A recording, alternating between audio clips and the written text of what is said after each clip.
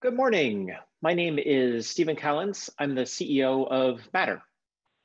Today, I am proud to present the Change Healthcare Pitch Competition.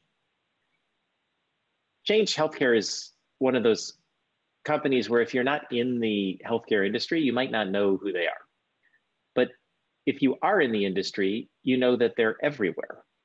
Last year, the company processed 14 billion healthcare transactions one third of patient records in the United States are somehow touched by a change healthcare solution. Their data and analytics solutions are seemingly omnipresent, which is why the opportunity for entrepreneurs to work with them is really so special. This pitch competition began with a conversation at the JP Morgan Healthcare Conference in January, uh, January of this year which feels like an entirely different lifetime or an entirely different planet.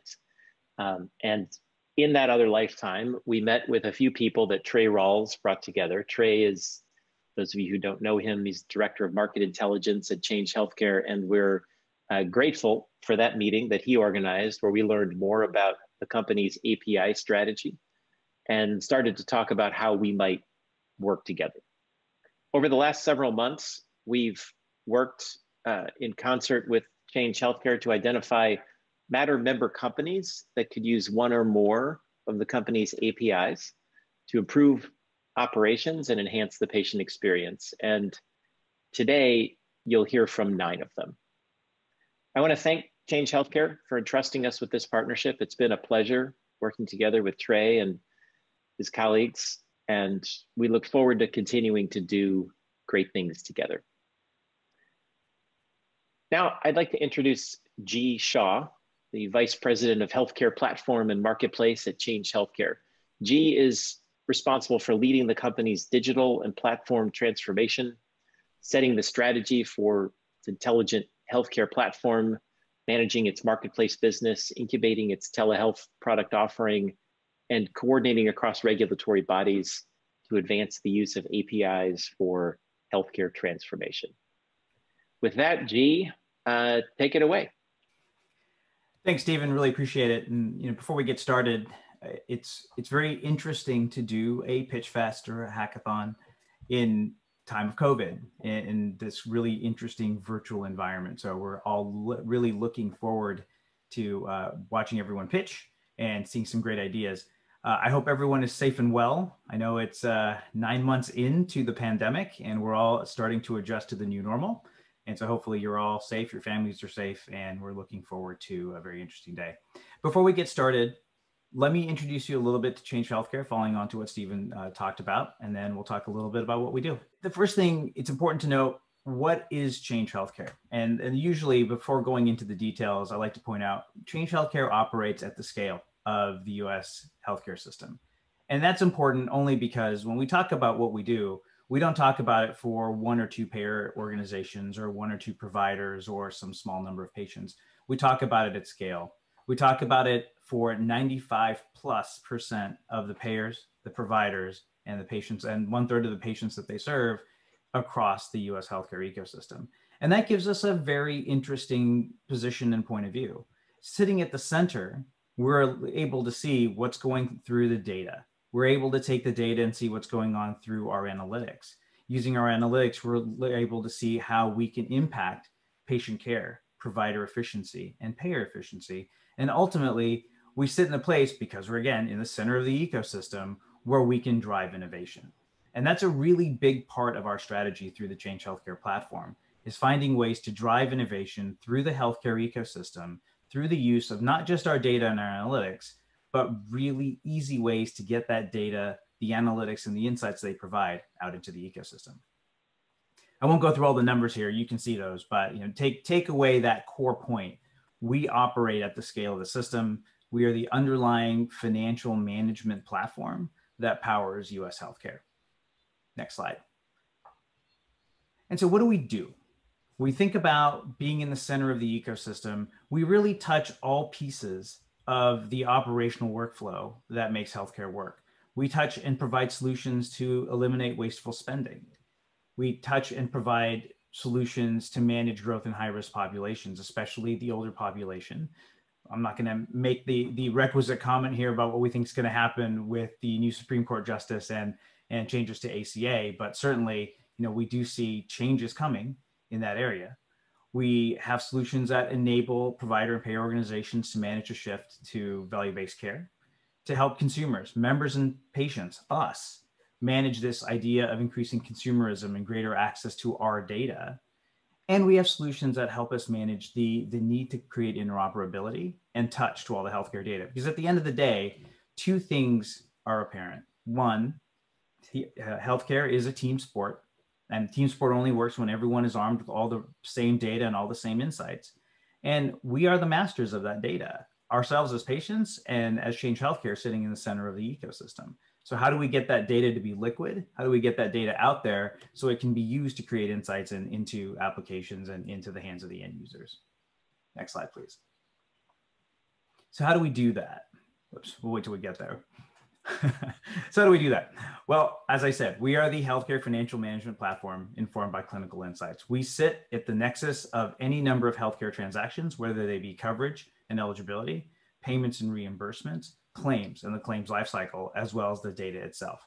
And we take that information and run it through what we call our intelligent healthcare platform, which is the platform that starts with the transactions at the bottom and gets to the marketplace and the APIs and the way that we enable them at the top. We do that in a way that maintains the security and privacy of that data, the scalability of the delivery of the insights developed from that data, and ultimately all the products and services services that are needed to deliver those insights. Now, why is that important? Because as startups, as the healthcare ecosystem, innovation ecosystem, it's really hard to get to every single one of the provider organizations, every single one of the payer organizations, every single place where the data lives, the insights need to be delivered, or the patrons or the members need to be touched. So we take all of that goodness, all of that information, and we make it available directly to our customers as solutions and services that touch payers, that touch providers, and ultimately touch patients and members. But we also make that information and that data and those insights available or those workflows available through our APIs, which we'll talk about a little bit more as we go through the rest of the day. We use those APIs and the SDKs and the applications they power to, to enable next gen opportunities for ourselves, but also next gen opportunities and innovation across the ecosystem.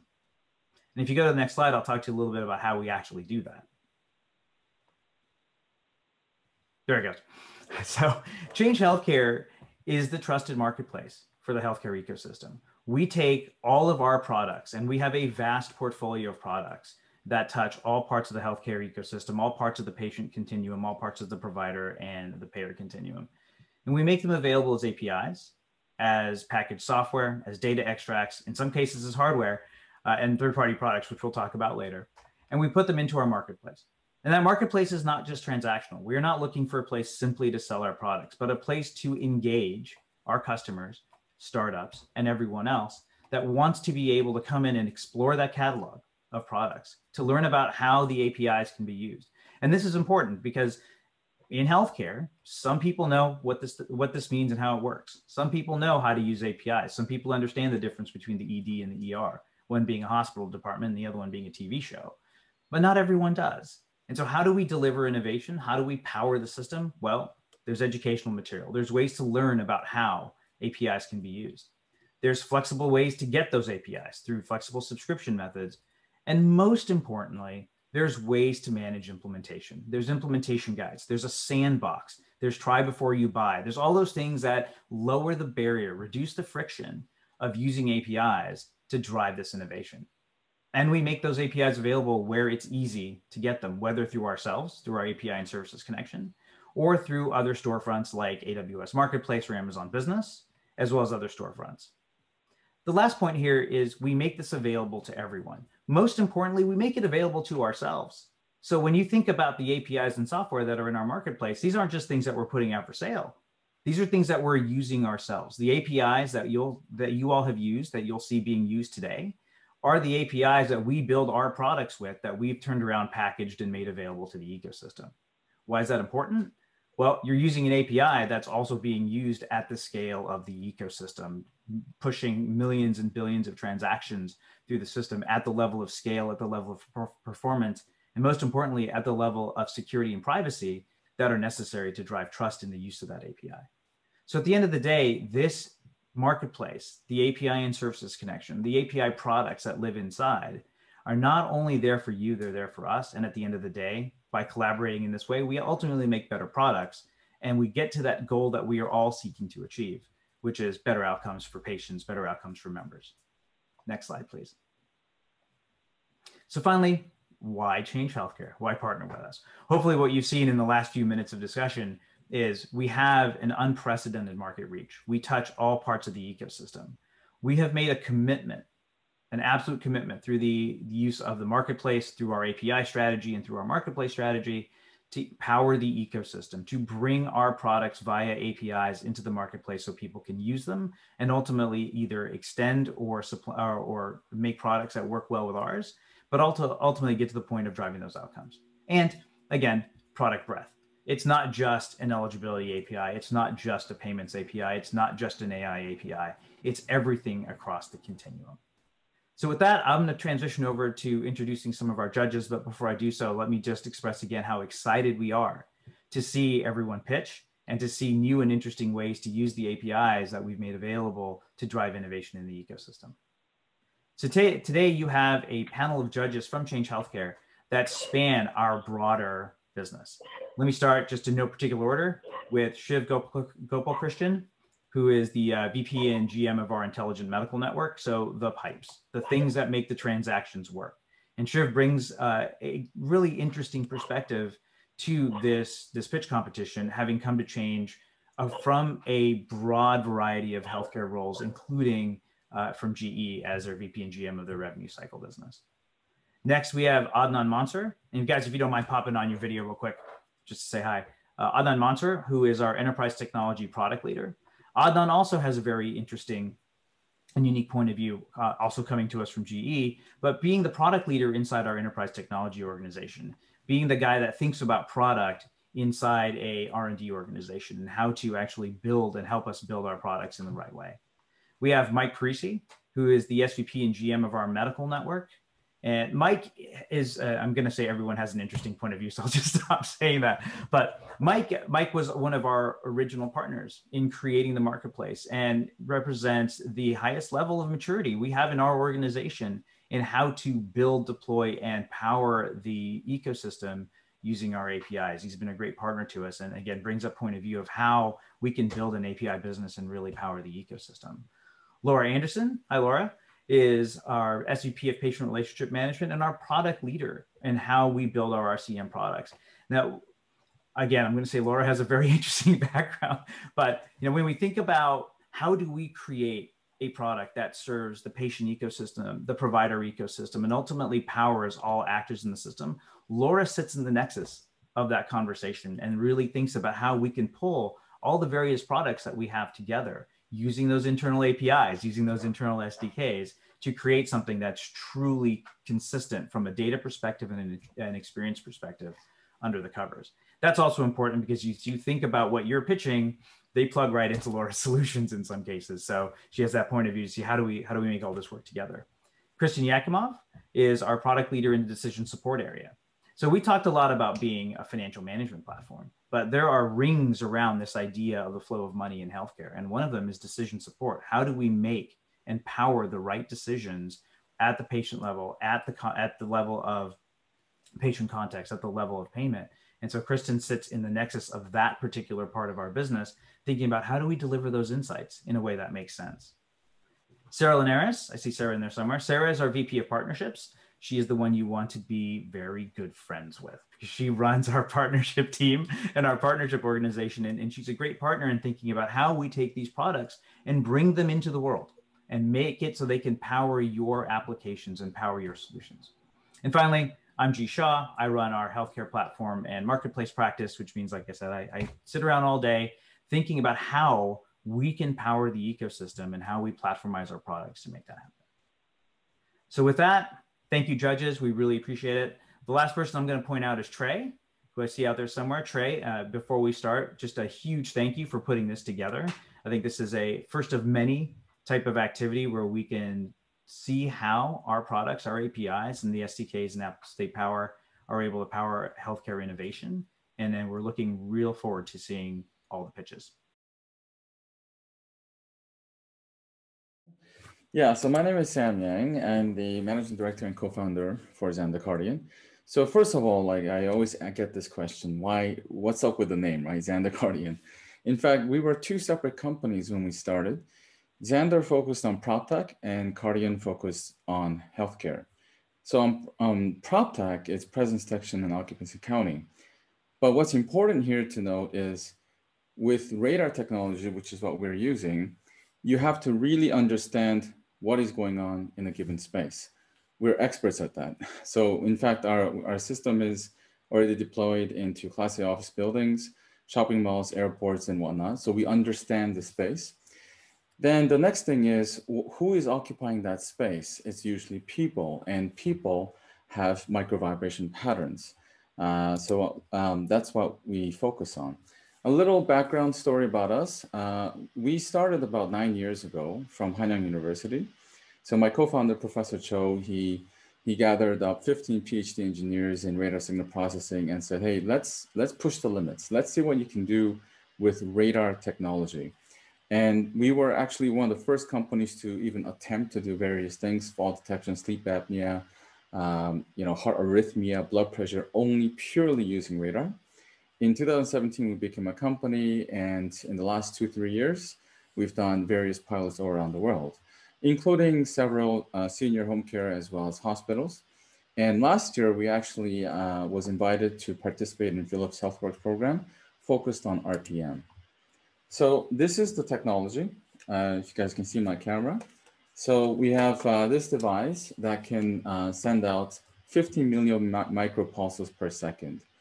Now, uh, what that means is we're getting every micro vibration pattern emitted from the body.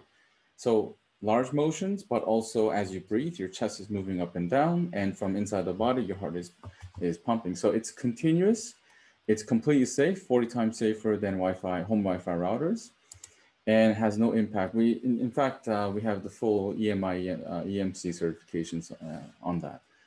On healthcare, we do the vital sign as well as fall detection. But for this purposes, we're focused right on the, on purely on the vital signs. So heart rate, breathing rate for adults, the accuracy based on the last clinical investigation was plus minus four BPM and plus minus one breath per minute. And in fact, we're hopefully within about four or five weeks away uh, from getting FDA clearance.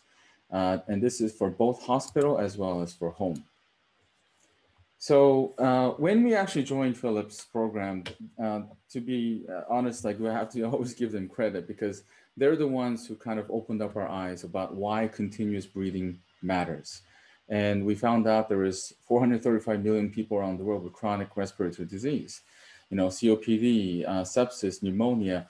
In, in fact, COVID-19 is a respiratory disease. So there, there are so many benefits to um, making sure that ev everyone is monitored continuously. Even for COVID-19, it can be now used to uh, potentially as a symptom, but also those who have recovered from COVID-19. So uh, one of the things is that we like to highlight is we make, because when you use radar, we're basically getting information from the entire body. So meaning we know you're completely resting. So we won't record anything if you're moving. And so if you're still, then we say, okay, the body is completely still. So we're able to get resting heart rate and breathing rate. And we, we do that every time that you're still, which means over one night cycle, we're averaging about two to five, uh, two to 3,000 scans and measurements per one overnight uh, uh, study. So that's a lot of data, a lot of reliable data we can use, and there's a lot of benefits. Uh, in the home, for example, we can look for three plus uh, BPM increase. And this, these days with COVID-19, this has become a really highlight feature, you know, because normally your baseline RHR and, and resting respiration rate should not be moving up like this. So um, how it compares to the hospital systems, in fact, uh, we, we were surprised when we visited many hospitals with Philips. Uh, we found out that most hospitals are actually doing visual check, meaning a nurse would come in, do a spot check, like literally look at the chest moving up and down for 20 seconds and counting. But that's spots checks, and it's also a very redundant task for the nurses. So um, uh, they use some the chest belts or CO2 mask. In fact, our data was compared to the CO2 mask. And if you start looking at the potential market, it is massive. And this is just in the US uh, market only, COPD, CVD, COVID-19 pneumonia. Uh, as I mentioned before, uh, there's now new studies showing that the, the people who have recovered from COVID-19 actually may require lifetime, lifelong continuous monitoring. So this is how we, uh, we, we monitored. Um, for sake of time, obviously I can't play the video. Oh, sorry about that. Um, let me just go back to the slide. So um, yeah, so we, we actually uh, went through the uh, FDA and purposely uh, stuck with getting the at-home portion done because of CPT code 99454. Uh, this is remote monitoring of physiologic parameters, so heart rate, breathing matters uh, for every 30 days. And our market penetration strategy, uh, this is our snapshot. So AARP became one of our investors, they're the warrant holder of our company and uh, they're very supportive. Uh, Direct Supply also very, very supportive. Uh, we're actually one of five companies that they selected to, to uh, promote. Uh, so uh, we have very key partners already that can promote our technology and they're just on standby right now for us to go through the FDA. But once we do, um, the next big thing was how, so once we can get the word out, how, how do we make sure that the, the customers, patients are eligible. So obviously that's where change uh, API will come in. And once we get that, we have to connect them to a physician. Uh, so that's also um, uh, change as well as wheel. And once we have found and they're going through a virtual uh, connection and consultation, then we'll use 3PLs to ship out the device. And obviously we have to maintain them. So claim cycle, payment solutions, reimbursements and things like that. Now, what's interesting is we also found out that on average, people need about 38 months uh, of this uh, continuous monitoring uh, or maybe longer. So it's, uh, it's a long, pretty long-term type of uh, uh, system. so we have the, the version for the hospital. We have a new one on the right, it's smaller. It's actually this device over here. Only does continuous respiratory um, um, monitoring. and one other very good news that we have is we also did uh, NICU testing uh, on 34 infant babies, and the results were even more accurate, plus minus one BPM. Uh, so in fact, we're gonna start going through FDA process on this, and this also will be used in the home. So there's an application there as well. So a quick thing on the competition. Um, one thing is uh, we have uh, journal publications, we have uh, clinical investigations, obviously FDA. And um, another step overview of the, our entire portfolio of the healthcare products. So this is our, our roadmap uh, from now until next year. So baby monitoring sleep apnea also in the works. And yes, we do have 24 patents and 21 journal publications, including several in the uh, non-contact vital sign and sleep apnea area. So this is us. Uh, we have five PhD engineers and they're all purely radar signal processing and this is my contact info. Hey, Sam, this is Laura Anderson. Thank you. This was a really fascinating presentation. I really appreciate the time and energy you put into this. I was just trying to get an idea of where you were going beyond NICU. I saw PET monitoring, which is interesting. And you said that you're, um, you've tested this in both the ambulatory as well as the acute care environment? Yes, um, we have done that. Okay. We have all the investigation. And one small thing about PET, uh, it's the same solution, uh, but if you think about pets, they have a lot of hair, right? And any kind of contact based sensors with a lot of hair doesn't work very well. Radars have no impact, no nothing uh, um, with pet hair, so it will penetrate through and obtain the vital sign accurately. Got it. Thanks for sharing that additional information. Mm -hmm. Thanks, Sam. Uh, you know, question for you that I had so there's kind of two markets you're talking about, if I'm if I'm following right. One is sort of in a hospital setting where you're trying to monitor a patient. The other is in a home setting. you think about those two markets, you know, where do you where do you feel like you have the biggest opportunity, um, and you know, how do you see your business model needing to evolve to kind of tackle that? Yeah, so in the in the acute setting, uh, the main purpose here is early deterioration detection, and the priority is actually the resting respiration rate, uh, not so much in the heart rate. Uh, uh the problem, as I mentioned before, is that many of the the respiration rate is done by visual checks, spot checks, mm-hmm. and that many hospitals are looking for a continuous method that's automatic, which means no patient participation required, no staff intervention required. So um, yeah, the, uh, many hospitals uh, have already been uh, reaching out to us. Uh, um, Kaiser Permanente looking for a pilot as soon as we have the POs, uh, the, the, FDA ready. Um, so we believe there's a great market for that. Uh, but uh, just sheer number, the, the amount of people that requires day-to-day monitoring because of their chronic uh, condition is mm-hmm. just, yeah, numbers are just, yeah, exponential. So yeah, we're, we're happy that we can uh, uh, approach both markets. Quick question on the uh, the consumer approach, i.e., the home health. What's your customer acquisition strategy? Are you going direct to consumers, or are you going through uh, other channels? Right. Um, so uh, uh, as you know, it's uh, one of our um, strategy, uh, and uh, direct supply. So direct supply, it's it's they're one of the largest players when it comes to senior care markets, and and most 95% um, of this long-term care facilities actually buy from direct supply, and we're already one of their partners. so one of the ways that we're trying to see if we can uh, acquire customers is to uh, go through their channels and let them approach their, their customers and introduce our solutions to them.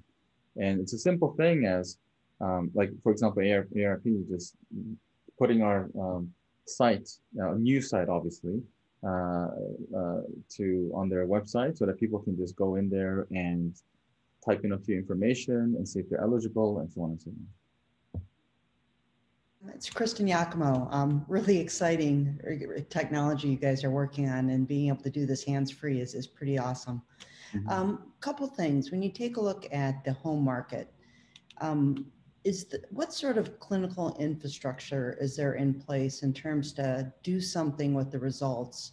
And where is the science in terms of being able to determine whether the signal is good, bad, or um, yeah yeah, uh, that's that's uh, yeah. So basically, we use um, we have ways to identify using uh, AI to know who we are scanning, and secondly, uh, as I mentioned before, uh, we have the ability to see that your body is still by scanning the entire body, which means that um, we, we we call it the stability score. So if the st stability score reaches 100%, that is when we start grabbing the data about your heartbeat and the breathing rate to ensure that the data that we do collect are correct. And if someone else enters the room, we stop collecting. If they move, we stop collecting. So it's not a matter of how many times we're getting, it's a matter of how accurate, as, as accurate information as we can get, uh, um, information that we get throughout the day, every day, automatically. Uh, so on that end, um, uh, we're very, very proud about that. The, the data that we collect, again, it's, it's the CPT code 99454 uh, defines it by 30-day uh, collection, right? So we're getting literally tens of thousands of measurements yep. just by you doing your own thing, watching TV or going to sleep in your own bed. you don't have to do anything, to put anything, charge anything, press anything. Just live your life and you're getting all this information. We're sending this information to the physicians every 30 days to, to uh, see something. We're, what we're not doing is we're not doing any diagnostics on our own. We're not sending an alert saying, hey, this person is having a heart attack or stroke. We're not doing any of that. Okay, terrific. Thanks, Sam.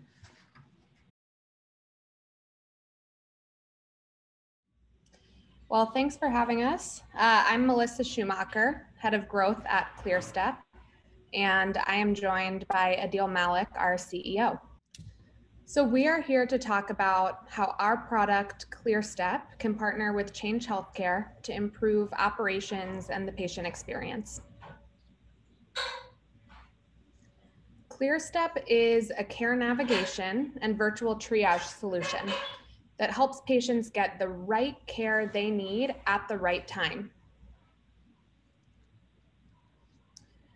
We work with healthcare companies across the spectrum, primarily including health systems, payers, digital health companies, and telemedicine.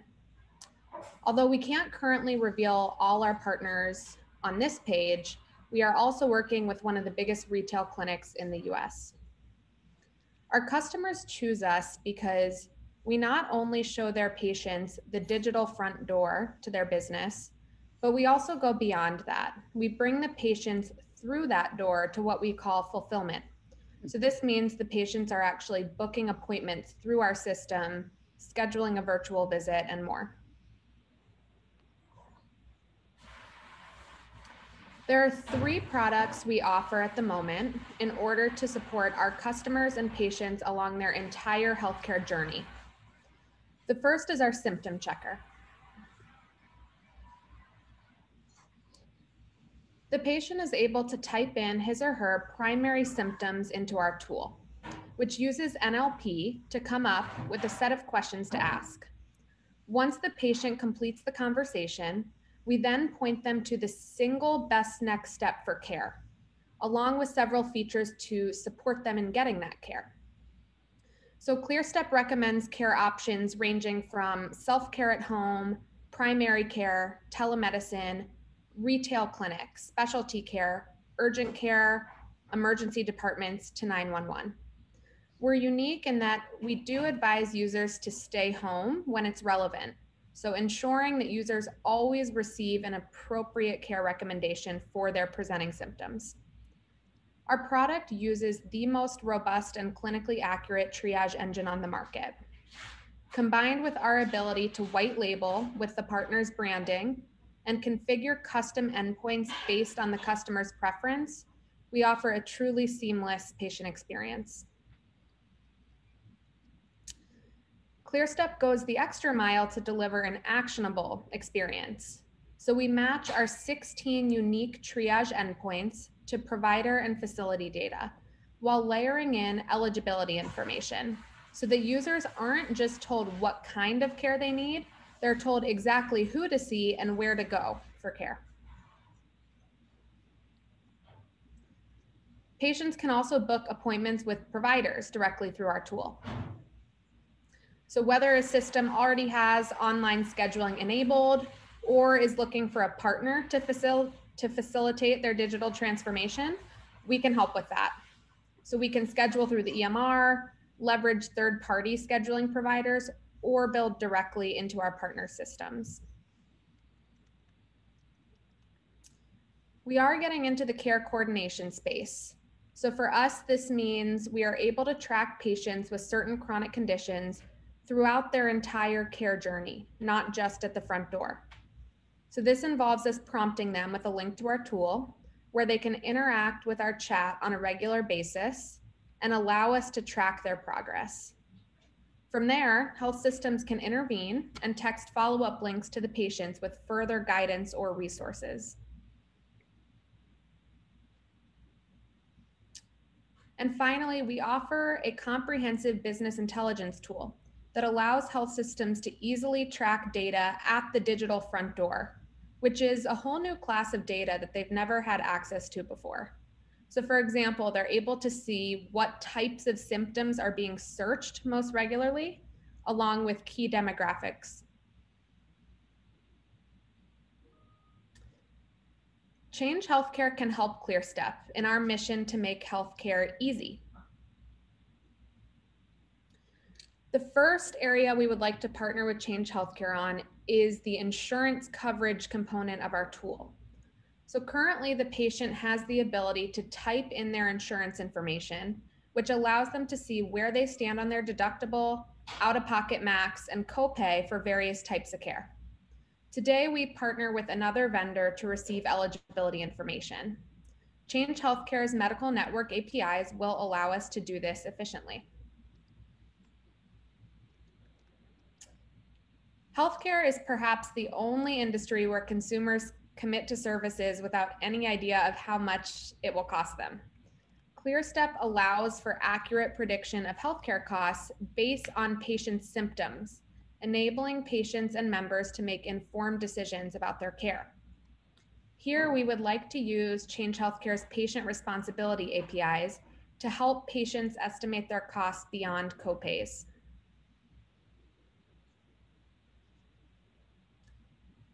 ClearStep's making a name for itself in the industry.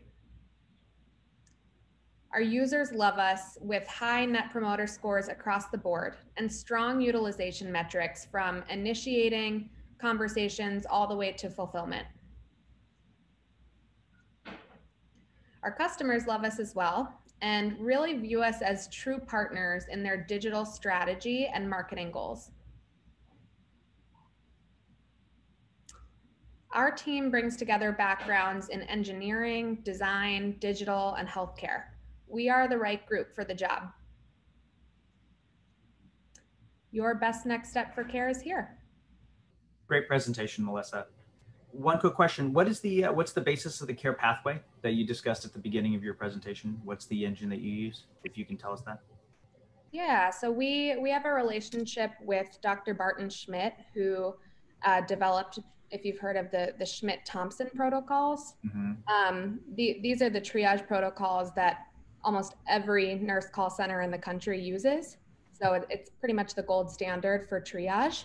Um, and we we have a unique relationship with the physician that founded those. So that's that's what powers our tool. Got it. Thank you. Hey, Melissa, it's Laura Anderson. Um, I shared G's comments. They, great presentation. So um, tell me a little bit more about EMR integration and how you're doing that. And I'm assuming that your solution is also across the entire enterprise, acute, ambulatory, ancillary. So can tell me about EMR integration and tell me about customers that you have outside of the hospital setting, please. Absolutely. Do you, want, do you want me to chime in here, Melissa? Sure, Adeel, go for it.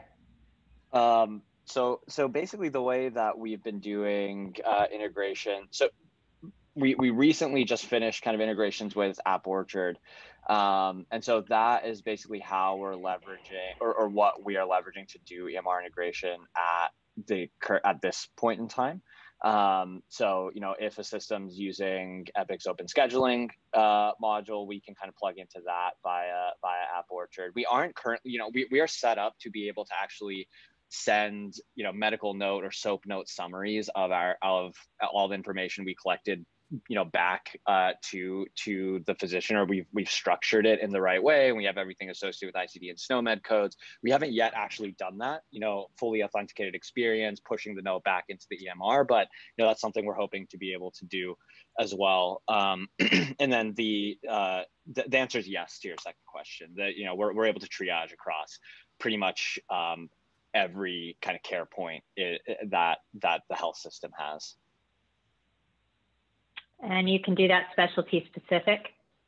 So that we we can technically. Um, generally, we like our engine is able to like rank list specialty care options as well for for a user. However, the way we typically share that information to the health or to the user is not we we will never at least currently like you know say you need to go to a cardiologist. Um, we'll typically say you need in-person care and then you kind of click open the tab that says in-person care and the first options you're shown are for primary care docs uh, saying you know this is the first level of like where you should actually go uh, for care.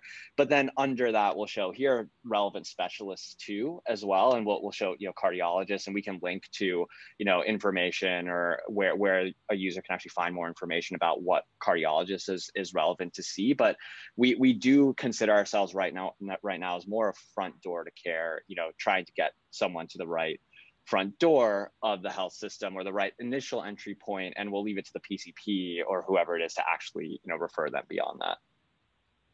Great thank you.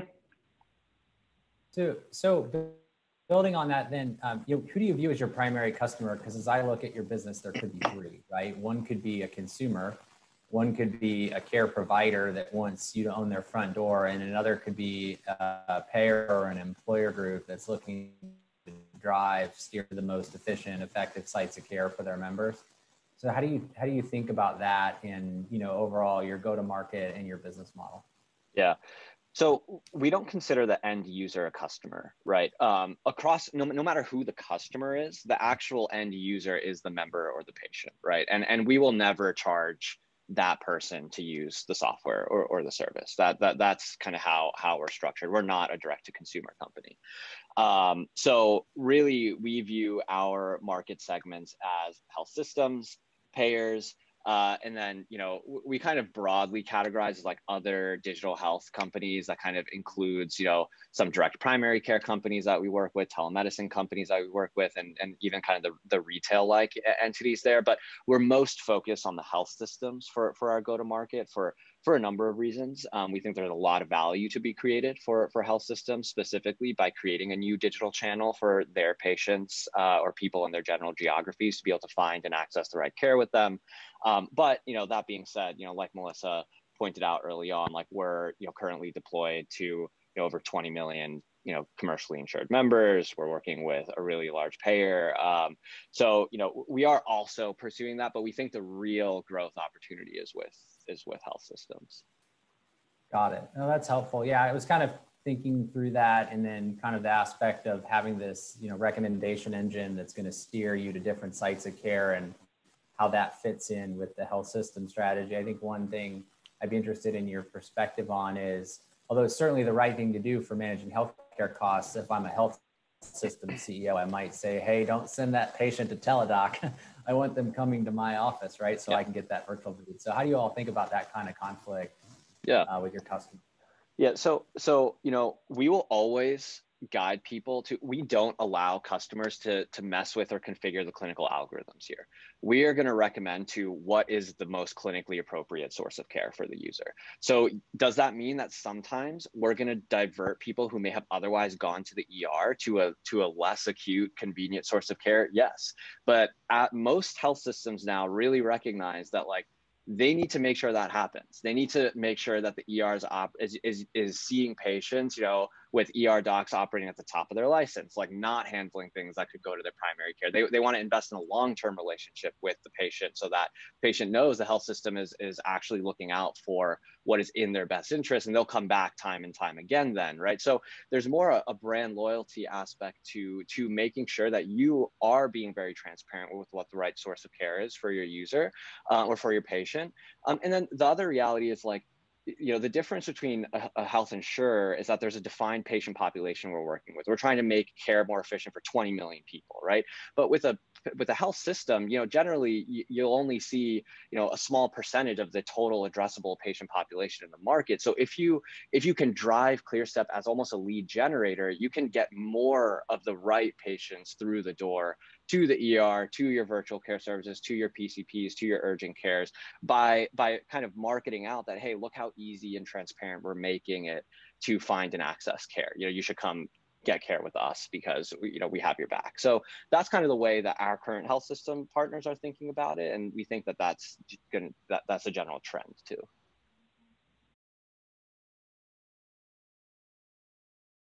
Thanks, everyone. Um, so uh, Today I'm going to talk be I'm going to be talking about Limber.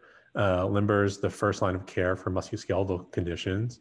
Um, I'm a sports medicine physician by training. Did uh, have a lot of experience in alternative payment models and spent some time at the Center for Medicare and Medicaid Innovation Center working on alternative payment models. That's where I, I experienced Change Healthcare, where I was learning about Prometheus and what what type of value-based arrangements um, from an alternative payment model that uh, change can do.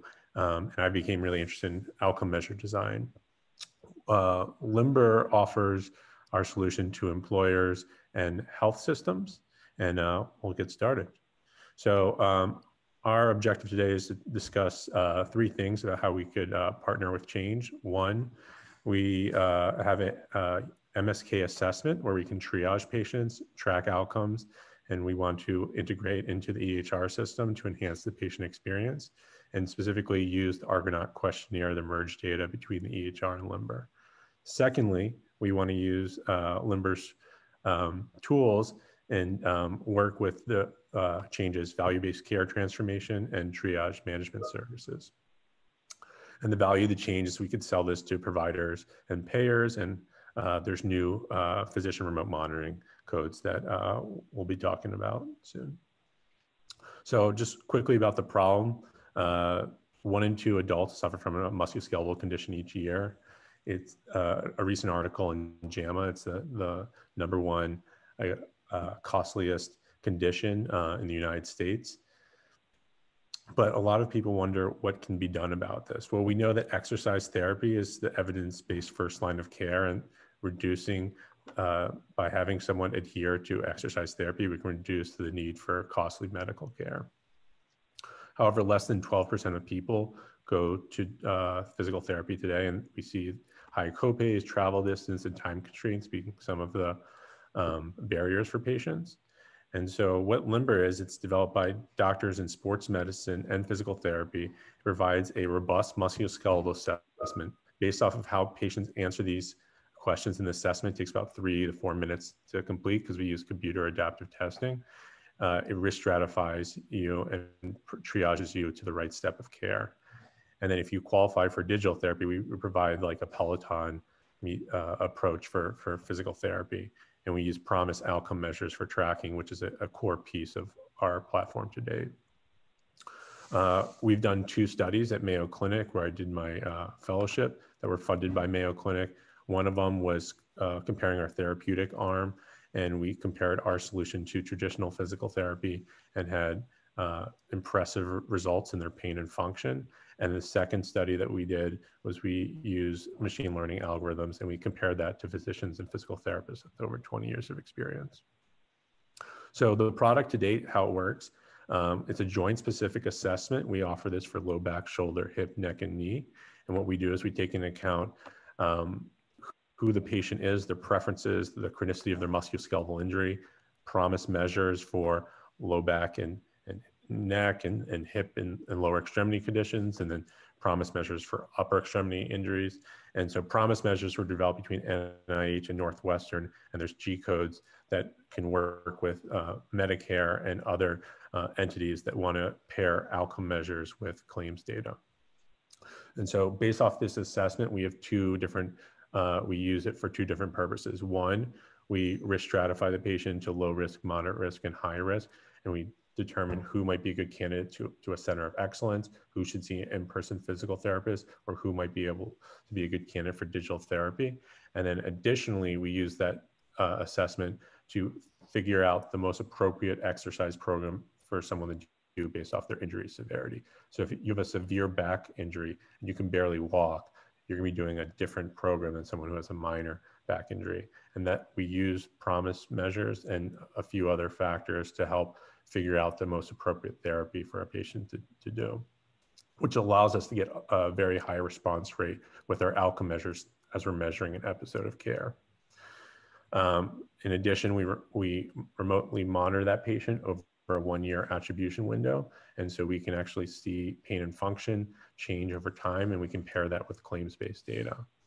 So the return on investment to the healthcare system, uh, and we work with a few healthcare systems, we can triage uh, patients um, that are seen in the primary care office to either center of excellence if they have clinical red flags, to physical therapy, and reduce utilization um, to surgeons who uh, would want to have a higher surgical referral rate.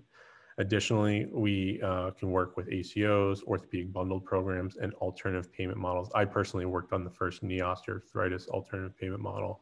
Um, to that, uh, and that's one of the things that we can do. And then we have new physician remote monitoring codes, which we can get reimbursed for.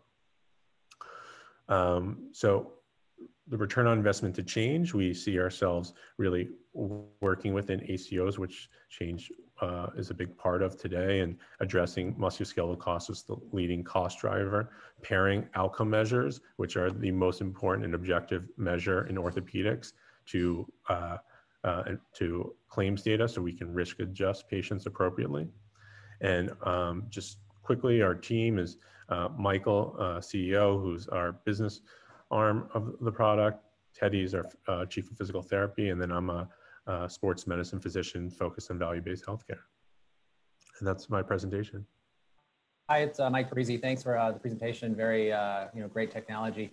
And I think about your business. Um, you know, I, a couple things that come to mind. So one of the questions is, you know, are you a, you know, you kind of talked a little bit about being a partner to the healthcare system, or are you a competitor? Um, and how do you view yourself in that regard, you know, in terms of, uh, you know, more traditional, uh, you know, PT based care? And then the second question I would have is really just around differentiation. So familiar with a couple others in this space. It's certainly a lot of, lot of, you know, emphasis right now on telehealth, virtual care, uh, and, uh, you know, the, like, you know, others out there like a Hinge Health. I'm just wondering, you think about how you compete against them? How do you think about differentiation? So those would be the two kind of areas I'd be curious to get your thoughts. Yeah. So um, the first question, just one more time, what was that again? Just.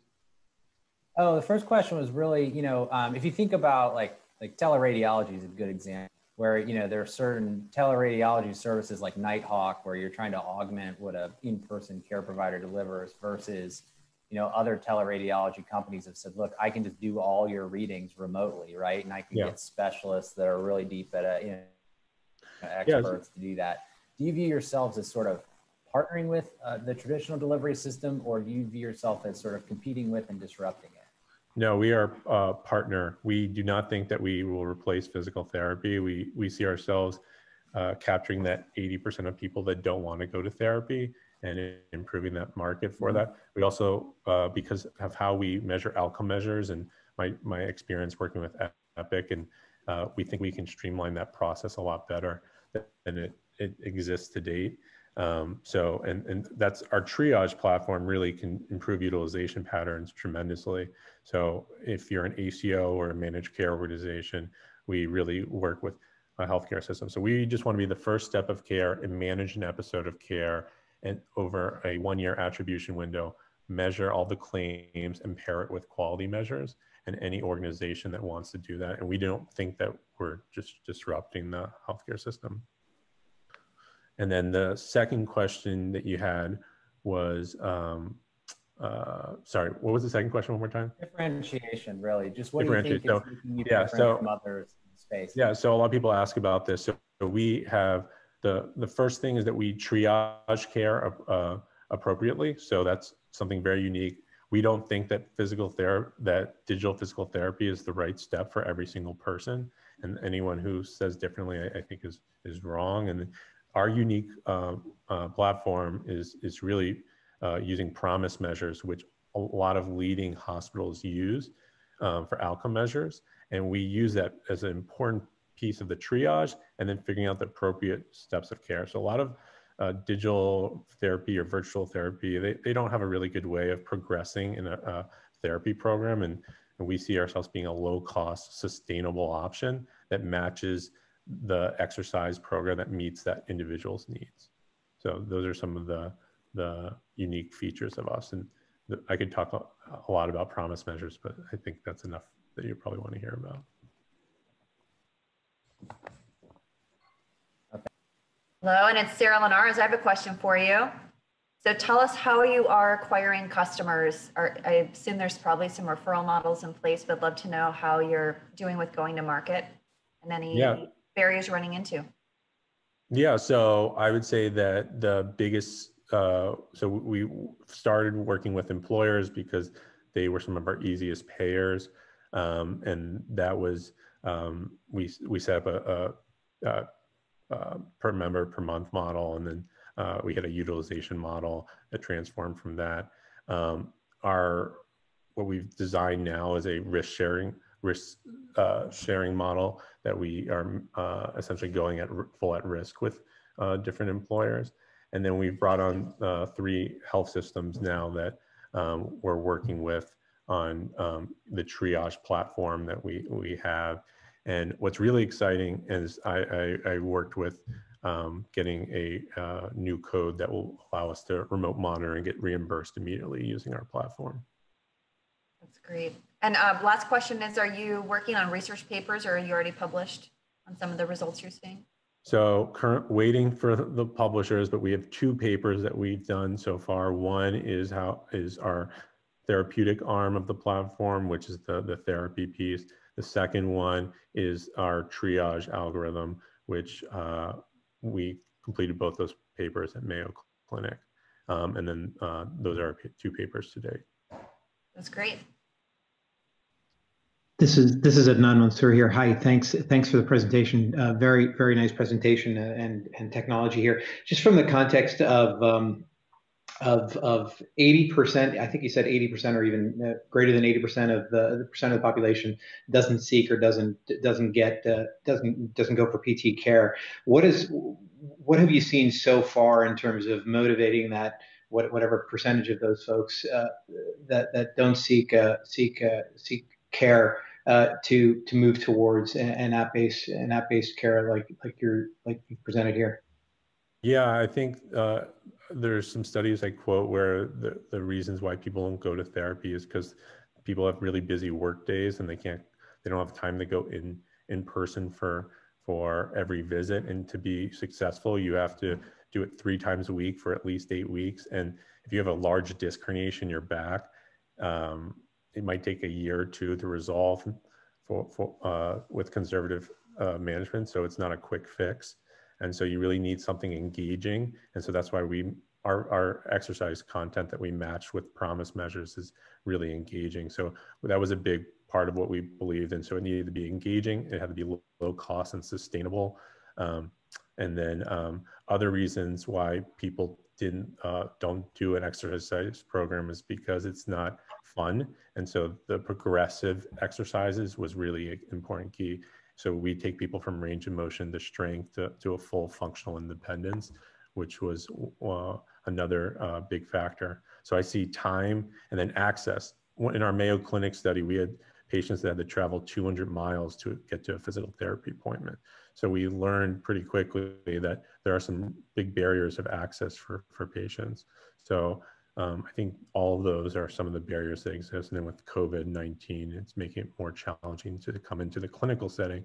So um, I think hospitals are really trying to look for different options of providing better care at, at patients' houses. Thanks, Mark.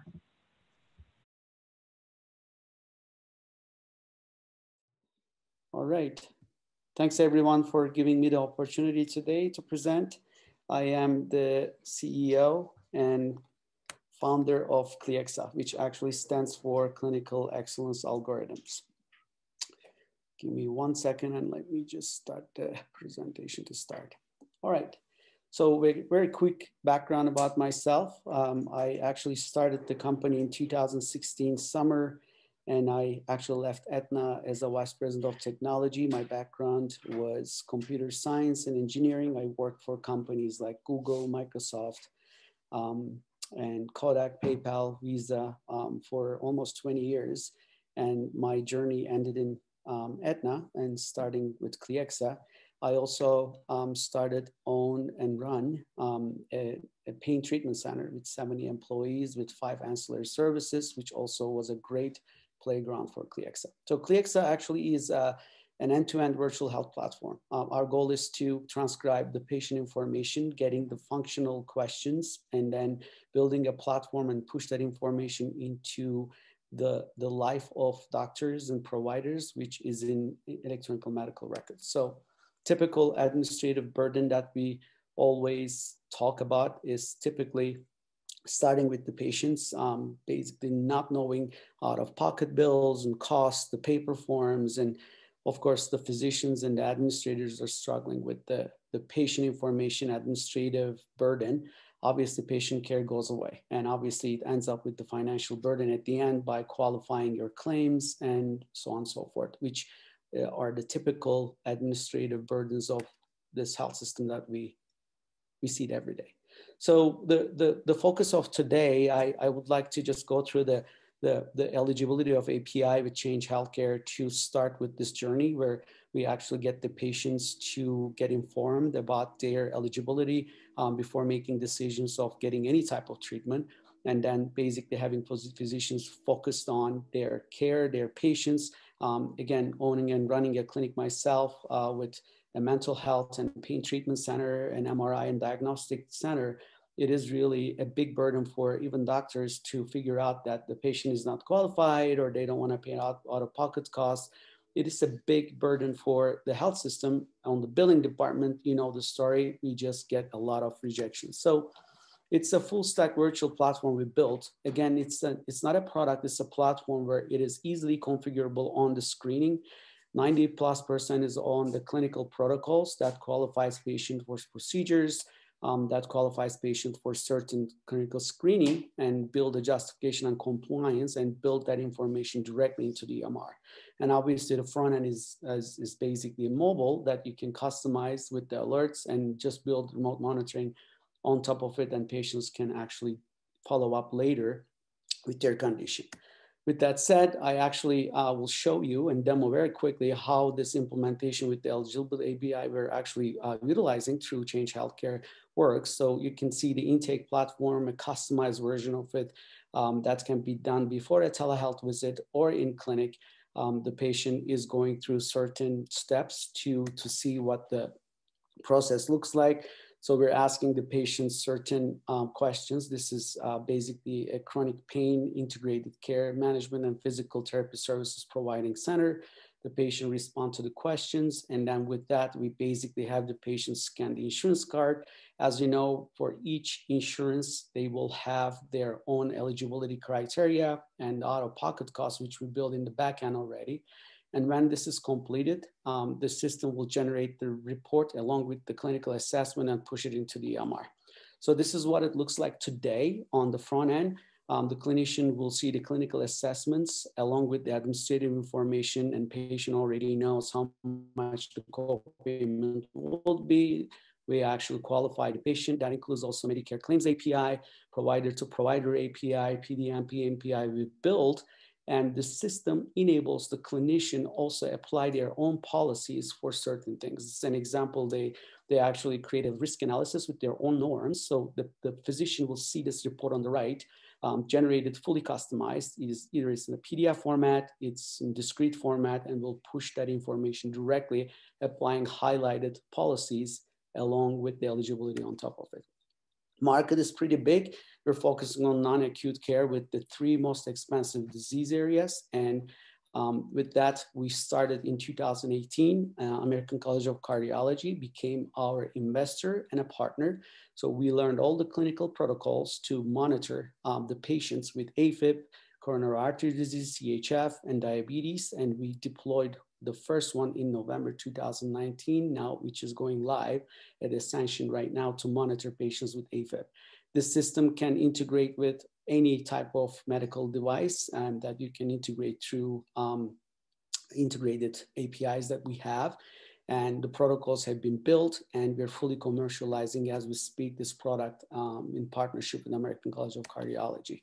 Another use case we have done, um, this is an integrated pain clinic with five locations. You can see on the administrative side, we already reported cancellations of 10% decline and saved 10 minutes per patient. And we actually save 10 minutes per patient per provider per visit. Basically, we generate automated documentation using their own templates integrated into EMR. And on the financial side, uh, with the practice revenues with the additional qualified reimbursements, um, not only we increased 10%, we also um, decreased heavily the denial and rejection rates by building compliance on the billing side. So we have three uh, case studies. One of them has been peer reviewed and officially published by, uh, with Kaiser Permanente. Um, there's another one that we did with another separate uh, case study with Kaiser Permanente on a rheumatoid arthritis platform. And we also have two research publications in partnership with research that is focusing on patient reported outcomes the market is pretty crowded and we just kind of transform ourselves into an end-to-end digital health platform. So we are not administrative only. We have all that features, but we are actually doing a full patient care journey platform. We also have an AI built on risk identification managed by each practice's policies and treatment across time. And we obviously have compliance reported fully embedded into the EMRs since 2018 September that we fully became um, in production after a year and a half of the company's um, start. Uh, we actually are now uh, in 2021 uh, have three major healthcare contracts signed. As we grow the company, we're hoping to hit over $1 million uh, annual recurring revenues. Uh, that's pretty much 90% guarantees for the next year. We have an FDA clearance for um, basically regulatory requirements for decision support in uh, from FDA. We have a patented indexing, but AI risk methodology and patient data collection model also awarded in 2020 earlier in January by uh, patent office. Uh, we have full integrations, all homegrown. We don't need any third-party integrations. That's the first thing I did as a developer back in the days, built the backend systems. So uh, Microsoft Azure, even on Transact, we can interact with hospital systems who are on Azure. We can directly interact with them, but we are an Athena Health Marketplace partner, Epic App Orchard partner, and we have integrations with the ones you can see. And with our integration services engine, we can interact and integrate with any other existing system within a matter of couple days once we have HL7 and FHIR requirements. So our customer acquisition is pretty uh, simple, direct marketing. Obviously, we're going to expand our cross-selling opportunities with the three big health systems we just signed a deal with. Um, we already have a distribution agreement with American College of Cardiology to go into the cardiovascular segment. Microsoft Azure Transact, we're already in their marketplace that we actually co-market together, just started early this year. And we are going through the EMR and cloud marketplaces that we partnered with. Our team is filled with technologists, um, um, the senior executives um, in the healthcare operations procurement. Uh, we have the author of American Medical Association CPT coding books, Robin Linker, helping out the flows that we can intake the patients with qualifying reimbursements. And we also have a behavioral health scientists managing the policy and grants. With, set, with that said, I want to thank you for the opportunity and ready to receive questions. Hey, Mehmet, great presentation. Thank you. In addition to the eligibility API, which you re referenced at the beginning of your presentation, are there other APIs that you saw as you were thinking about this pitch fest that you would find interesting or you think you might use as part of your broader solution? Absolutely. Uh, we actually implemented the eligibility API for uh, proof of concept purposes, and we are actually putting on the next version in two uh, practices already. Uh, but yes, uh, if you think about us, uh, we are a commoditized revenue cycle management complementary service. If you think about it, we try to stay away giving that message all the time as the market is crowded, but there's so many APIs that we want to implement. But instead of like presenting the implementation and go ahead and sell it and do that, we actually under promise and over deliver, which uh, we started already looking into multiple other things on the RCM section um, on the billing and claims part that we're building. Uh, we're, we're, heavily focusing on the compliance by generating policies that um, that we are actually relying on the clinic. So one quick answer to that is, for example, if you have certain policies to apply ancillary services, applying procedures from orthopedics to anything, uh, we want to build those policies that generates eligibility requirements for any payments that the claims are going to be going through. Um, so we are definitely looking into that, but we would like to kind of build one, start validating and get the feedback and keep pushing. So over the course of maybe next two quarters, we are absolutely looking into that one too, to answer your question. Great, thank you. You bet. So, so I have a, I have a follow-up question. So as far as your kind of, you know, customer acquisition, could you could you tell me how that works? Is it something where you rely on the provider to, um, you know, get you know, give somebody some kind of an initial email when they set up an appointment, or how do you get customers? You know, what's your primary way of getting customers onto the platform? Great question. So the, the way that our customers are small to mid-size all the way to health system customers. So once we do the implementation, depending on how that health system or mid-size clinic doing that, and we first do the discovery with understanding how they do the scheduling. So we rely on their EMR integration system. So they usually have a system like SMS or text. So quickly over, like going over that, like if I'm a patient that I have a scheduled appointment at the clinic, I will basically get a text message through the EMR um, that will say, okay, you're going to visit the patient. If you're a new patient, then you're going to text, get a text message with that and then an application link. You will download the app. It will take about two minutes to do the uh, download, two-factor authentication. The moment you finish that, you're wired up to the EMR directly. The system will know you're a new patient or a follow-up. It will walk you through consent forms, chief complaints, pretty functional questions, and it will detect the questions. Once you're done with it, when you hit the submit button, you're ready for a telehealth session or a physical, which will take roughly from five to 10 minutes. So once you're done, uh, the system will generate the documentation discreetly and in a PDF customized version in your charts in the EMR, in Epic, in Clinical Works, whichever the EMR is. And now you're ready for a session. So now on this screen that I showed you, um, the, the doctor will see all the information needed. We painted the picture.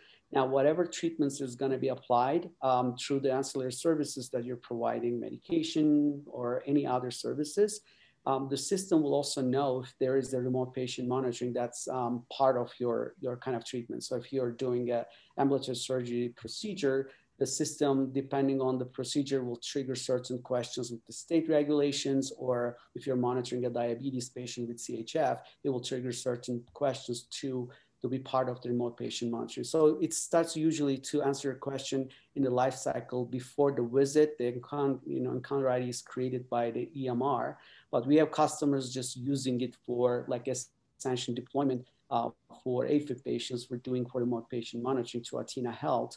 They're already in the system. They get an email saying that your doctor will monitor using this app. So they will just engage through the text again to download the app and the system will take care of it after that. Got it. Thanks. That's helpful. Hey, Mehmet, Mehmet, really quick question. I'm sorry if I missed this, but are you guys doing anything related to uh, collecting patient responsibility as a prepay before the visit? Uh, we did not start yet, but that's also in the horizon we're thinking. We did not do that. We started with the eligibility API now, and um, as part of our roadmap, we're absolutely uh, implementing that. So we're also tied up with the limitations of the EMR. Sometimes not all EMRs have the full bi-directional integration.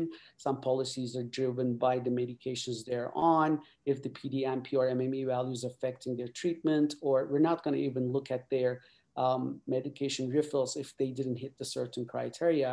So if the, the uh, EMR is not capable, uh, we're trying to figure out the patient responsibility with their own procedures, but it's absolutely on our horizon. We will build that up soon. Thank you. You bet. Okay, perfect. Well, thanks everyone, and thank you to uh, Matter and Change Healthcare for giving this opportunity. Uh, my name is uh, Tarun Kumar, and I'm the CEO of Cancer Insights. So, Cancer Insights is basically an oncology care continuum platform uh, for providers and for patients. So we have a, a app, app that's for the clinicians. It's a HIPAA and HITRUST certified, and an app for the uh, for the patients to bring on board. Uh, we have three fundamental goals of why we created Cancer Insights. One is to drive true interoperability, and if you look at our website, it's a little geeky, but it explains what we mean by interoperability. The second is patient empowerment, and you will see a semblance of all these three here. And the third is clinical efficiency. So we have nine use cases in our cancer insights. We are a early stage company, about two years old. Uh, we're doing a couple of IRB studies to prove this out. And today's presentation, we specifically targeted uh, to show you um, the intersection of uh, validated clinical data and financial data, how it changes the collaboration between a patient and provider. So with that, you know, I'll, I'll show you a quick demo of uh, that we have built specifically for this engagement, but it's very telling in terms of what the future of healthcare should be right? So, uh, uh, so I'll do a, a, a, speaker session between Joe March, who's the patient, who's a 65-year-old female detected with breast cancer, and her and her uh, medical oncologist, uh, Dr. Radcliffe. So, here is how it goes. Uh, uh, welcome, Joe. as you know, we had uh, all of your test results come out. Uh, we did a tumor board assessment. And for your cancer, we have created a couple of scenarios of treatment to look at. So today, we're going to look at each of these scenarios. And together, hopefully, we'll be able to arrive at a decision.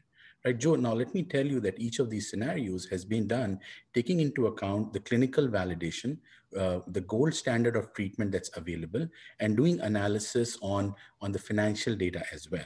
So Joe, as you know, um, you've been detected with stage three cancer. This uh, screen that you see is one of the three options for your treatment. And I'll walk you through all of these. So whenever we look, Joe, at a treatment, we look at the probability that the cancer will come back. So anything below uh, 30% or three in 10 chance uh, of next five years is considered very good uh, uh, standard of care. So in this particular uh, case, you know, the chance that the cancer will come back is in one in five years, right? What does that treatment involve? The treatment involves a minor surgery. So we start with lumpectomy. And, and the reason I wanted to bring this treatment up is I know you are busy uh, working women and, and you, uh, uh, if you don't want to have a more expansive surgery, lumpectomy will only remove that particular tumor uh, in the area, but preserve the rest of your breast. It'll be followed by chemotherapy and then a, a, schedule of radiation. And that is what we call as active treatment. So these treatments can last anywhere between uh, 10 weeks to 24 weeks. And each of the treatment that I will talk about uh, will have different. Once we do the radiation, then you will be on a long-term hormone therapy, right? So in terms of the, the surgery, because this is a very minor surgery, we preserve your breast and only take out the lump. It is be an outpatient. You'll be you'll have some uh, soreness, but then you'll be uh, you'll be good to go on the same day and recover within a couple of days. The the uh, chemotherapy will be in a three week cycle. So every beginning of the week, we'll give you a medication. You'll have certain side effects, which will I talk about a little bit, and then you will recover. And that's how we'll do the six cycles. Once that active treatment is over between uh, the, the treatment, then we will go through a radiation. This is to make sure that any reminiscent cancer cells are removed. Each of these will involve certain side effects. These are very common. Uh, this data comes from a real world evidence where we looked at other patients and from the drug manufacturers. So your surgery obviously will have swelling and redness. Your chemotherapy starting, it'll have a lot of nausea and vomiting, but we have medications to control it. We'll go through a radiation, which again, will have certain skin allergies that we'll manage. And then your long-term treatment therapy would have some side effects that that's okay. Finally, uh, Joe, one of the decision points is the time. So if we start in November, we can pretty much complete your active treatment by April, so another six months, after which, you know, the long-term treatment that you take from home will be. Also, Joe, unlike in the past, I can actually talk to you about what your financial responsibility will be. So here you see a breakdown of what it costs for each of the surgery, chemotherapy, your out-of-pocket expense, and then your total cost that your insurance will pay. Because these are NCCN certified treatment plan, I believe the chances of getting these approval are pretty much 100%. So you don't have to worry about uh, not getting a coverage for the treatment. Now, let me also show you uh, how does each of these treatment compare with each other? Now in this screen, and I will change a little bit of the display to give you more focus, you know, we talked about this treatment, right? With, with about one in five chances, starting with a minor surgery, chemotherapy, radiation, and costing about, uh, you know, 5K from out of pocket. There is another option wherein we actually do a much bigger surgery. If we want to be uh, uh, very careful about cancer and make sure it's not there, we'll do a complete breast removal. So this will be a bigger surgery, but there are two benefits of that. First, you get a higher probability that the cancer will not return. Secondly, we don't need to do any radiation. It costs a little bit more, but not, not that high to worry about. The third option is, um, is doing a chemotherapy first. So, so so Joe, in this case, we will actually do a chemotherapy before we do a surgery. We'll try to minimize the surgery again and preserve as much breast as we can, but then it will also involve radiation. Now, this treatment has very good um, metric in terms of time. So if you're really busy and you want to manage your work days, this is a good treatment plan. So Joe, fundamentally, our decision revolves around three things.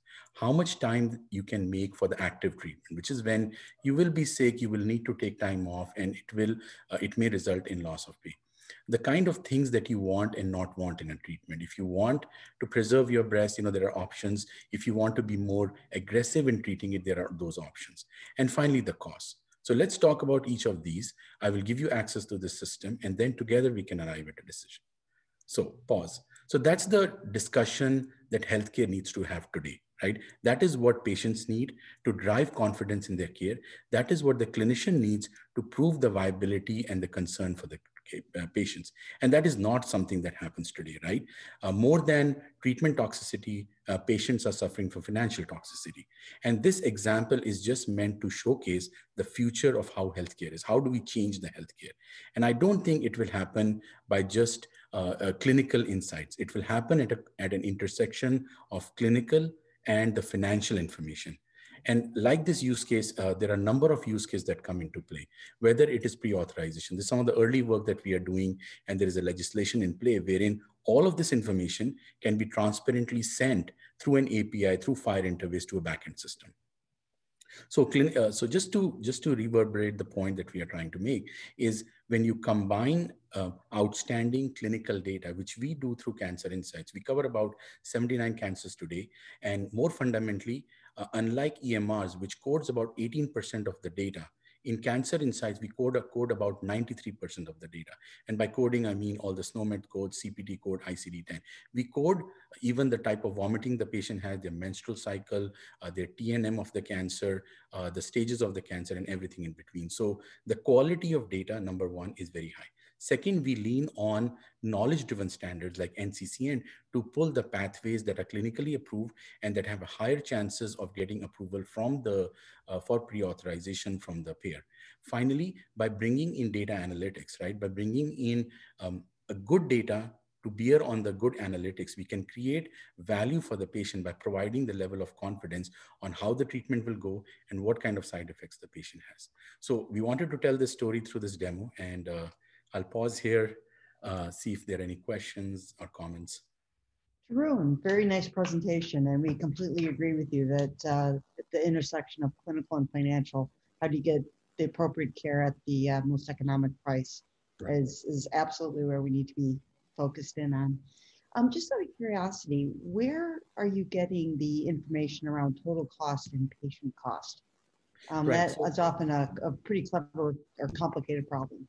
That's right. So what we are doing here is uh, we are looking at, you know, as we have the patients uh, uh, who come into our platform, we pull uh, their clinical data and we are also pulling uh, some of their financial data. What, but what we expect to do is, you know, working with Change Healthcare, we would have much better access uh, to similarity analytics. You know, we've been talking to your team and, you know, they do assessment based on patients' uh, copay and they can look up and say, what are the other patients paying? So um, second, you know, because we have a, cl a, clinically validated oncology data model, we can send a specific procedure codes, a specific aspects of the clinical data that then we can pull uh, the, the copays and the responsibility out of. So that's kind of how we are thinking of, of bringing this thing together. Okay, perfect. And then one other quick question on terms of, do you have a feedback loop on what the outcomes were for the patient ultimately and how that ties to some of your clinical guidelines? Yes. So, so this process starts with a, a, tumor board, right? So one of the things that we do in our system is we enable a guidelines-driven multidisciplinary tumor board, which is known to be a single point of highest decision-making for the benefit of the patient. Uh, that workflow feeds into th this process. And finally, um, as the clinicians uh, pick a particular treatment plan, that plan is packaged as a, that's something we are working in with, with HL7, packaged as a FHIR object that can then eventually, once the legislation for the pre-auth uh, comes, uh, gets approved, can be pushed into the, the third party system to the payer. Great, thank you. Tarun, I have a quick question regarding uh, scaling this platform beyond the, the use case you just shared. Are you guys thinking about how to recruit patients for clinical trials and things like that as well as a future opportunity? Yes, in fact, uh, we are doing an IRB study in collaboration with MITRE uh, American Cancer Society and few hospitals and some trial matching companies. Uh, and it is uh, it is uh, goes by the name uh, Codex, mCODE or Codex. You've heard about it. So we are part of that. In fact, we are doing one um, IR, two IRB studies, one around recruiting patients to find the clinical trials. And the challenge in clinical trial, as you know, is it's unstructured data on both sides. What we have been able to do is structure on the patient side and now we are using the third party matching services to create an orchestration platform. So we believe that as part of even the tumor board, one of the things that we are adding is that the patient gets recommended for clinical trials. So that's something we are actively working on because that is part of the, the care continuum ecosystem that we imagine in Cancer Insights. Great, thanks.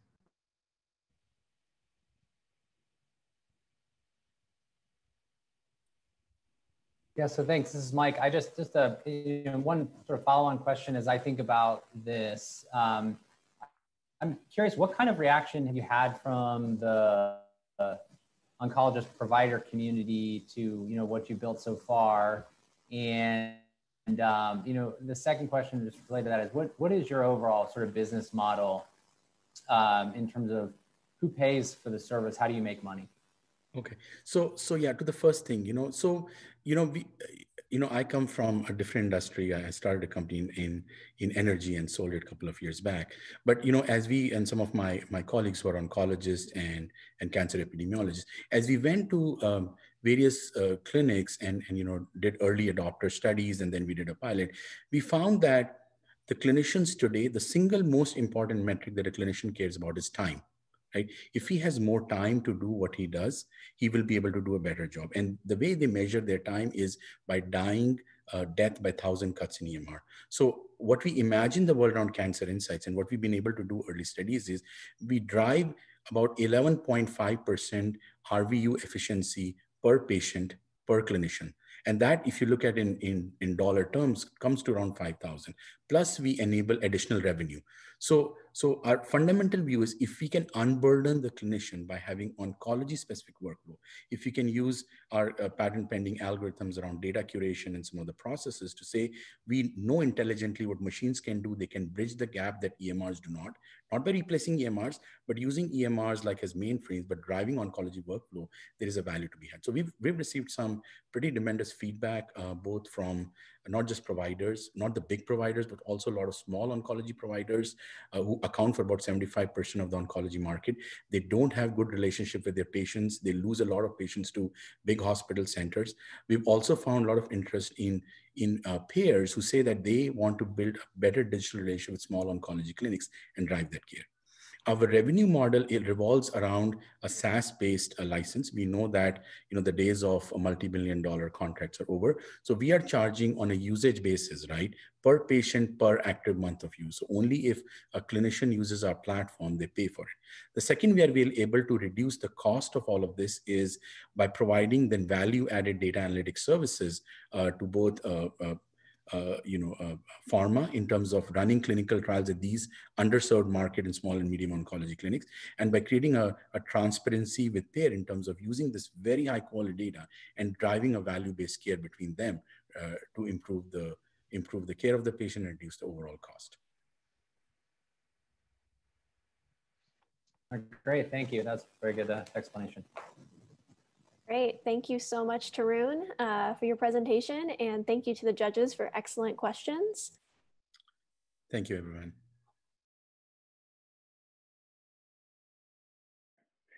Hi, uh, everyone. As you mentioned, my name is Adam Antonucci. I am the co-founder and CEO of Sober Puffin, a digital health platform working to improve population health by as it relates uh, bringing um, continuity of care to substance use disorder. Um, now, before I speak about the ways we believe change healthcare will impact and improve our business, I'd like to take a second to reintroduce you to what's going on with the disease of addiction. Just about 23.5 million people in the US are currently struggling, uh, with that number only increasing as COVID continues. And roughly 25 million people in the United States are estimated to be in some stages of remission, which is great news. But that number is only decreasing as COVID also continues to rage on. Uh, the reality is, uh, as you can see by the numbers, you know, one in seven individuals, one in three families, addiction to substances is common. So common that uh, many of you have a family member or a close friend with a disease uh, you may also know somebody who is working a program or staying within the guidelines of sobriety. Um, and that's exactly the reason we got involved. Um, my family is one of those one in three. Uh, we're fighting to bring a more comprehensive, destigmatized approach because we were on that front line and we got out and we have now celebrated the hard work that our loved one has done and is trying to, and we're just trying to give back and give that lifelong well-being to the community that we feel gave us back so much. My brother-in-law struggled with addiction silently um, to opioids specifically for nearly a decade. Um, pretty common tale these days that we see in the news, we hear about other people. Uh, for us, it was very personal, and I can elaborate on his struggles. How he, you know, was one of those common people who, during adolescence, started indulging and experimenting, um, how he experienced the trauma of being in a classroom of school shooting, how he damaged his body, and, and by all means should not be here today. But that doesn't do the story of addiction or the other people who are struggling any good because it only focuses on him and his cure and his excuse me his his uh, his fight uh, and it doesn't articulate the best side of him either which is uh, the one side of the story that we believe isn't told nearly enough um, that since finding his path to recovery he is now three years into remission and he's excelled he uh, as an individual as an engineer who has written the entire code base which our platform resides and if he, someone who used to frequent ERs and have side effects like asthma, which has now gone away, can get help and find a treatment path that works, uh, we feel anybody can. Um, and the difficulty is not, and it wasn't for us at least, uh, finding help. There are incredible people working to beat this disease. Not enough of them, but incredible nonetheless. And there are more solutions, digital, non-digital, entering the system every day. Um, but and it's a big but, only 11% of people that struggle find their way to care. Compare that to the over 90% of people with diabetes, which is an equal number, who find their way to care.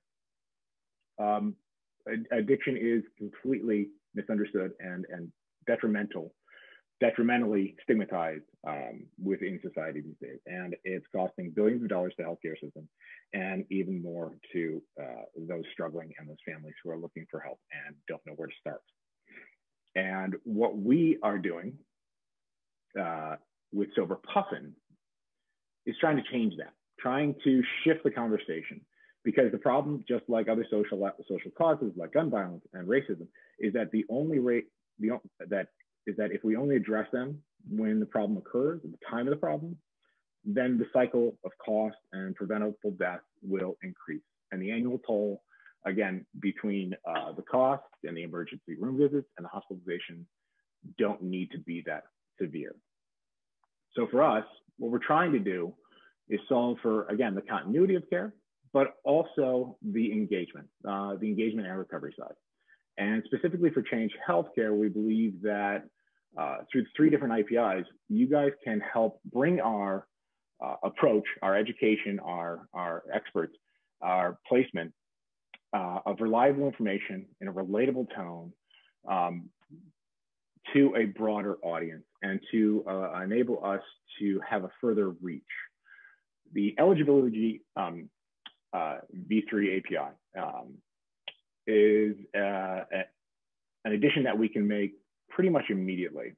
Um, we already have the placement feature, so we show where people can find help locally, and we, we utilize a few different um, uh, ways that we hierarchy them uh, to go through uh, at different time. If you have questions, I'm happy to answer.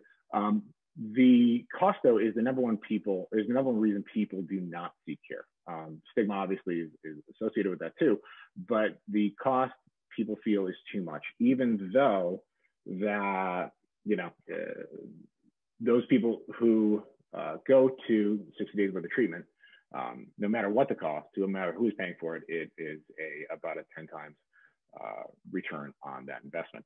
Um, so what we'd like to do, obviously, is sh currently show uh, we currently show Medicaid, Medicare, and private insurance. Obviously, what we'd like to do is filter that through uh, that eligibility API and introduce people to what insurance they can key in, and uh, hopefully do a little bit more to uh, show how easy it is um, for them to get care just for that one pathway. Again, our main goal is to get people to take one step forward. Uh, right now, people are not taking steps forward, and that's really what we call it the engagement scenario. Uh, the second way that we want to make sure that we can uh, utilize the Change Healthcare database is the Argonaut Provider Directory. Uh, now, this is going to take a little bit of tweaking and a little bit of um, um cross-referencing, but currently, um, people find help in multiple avenues not just the traditional go to therapy or go to residential treatment or go seek help. It is a unique story because everybody's attachment to the disease is unique. And um, effectively managing care means that you have to address that specific person. And detox centers help you get the drug or the substance out of your body, the alcohol.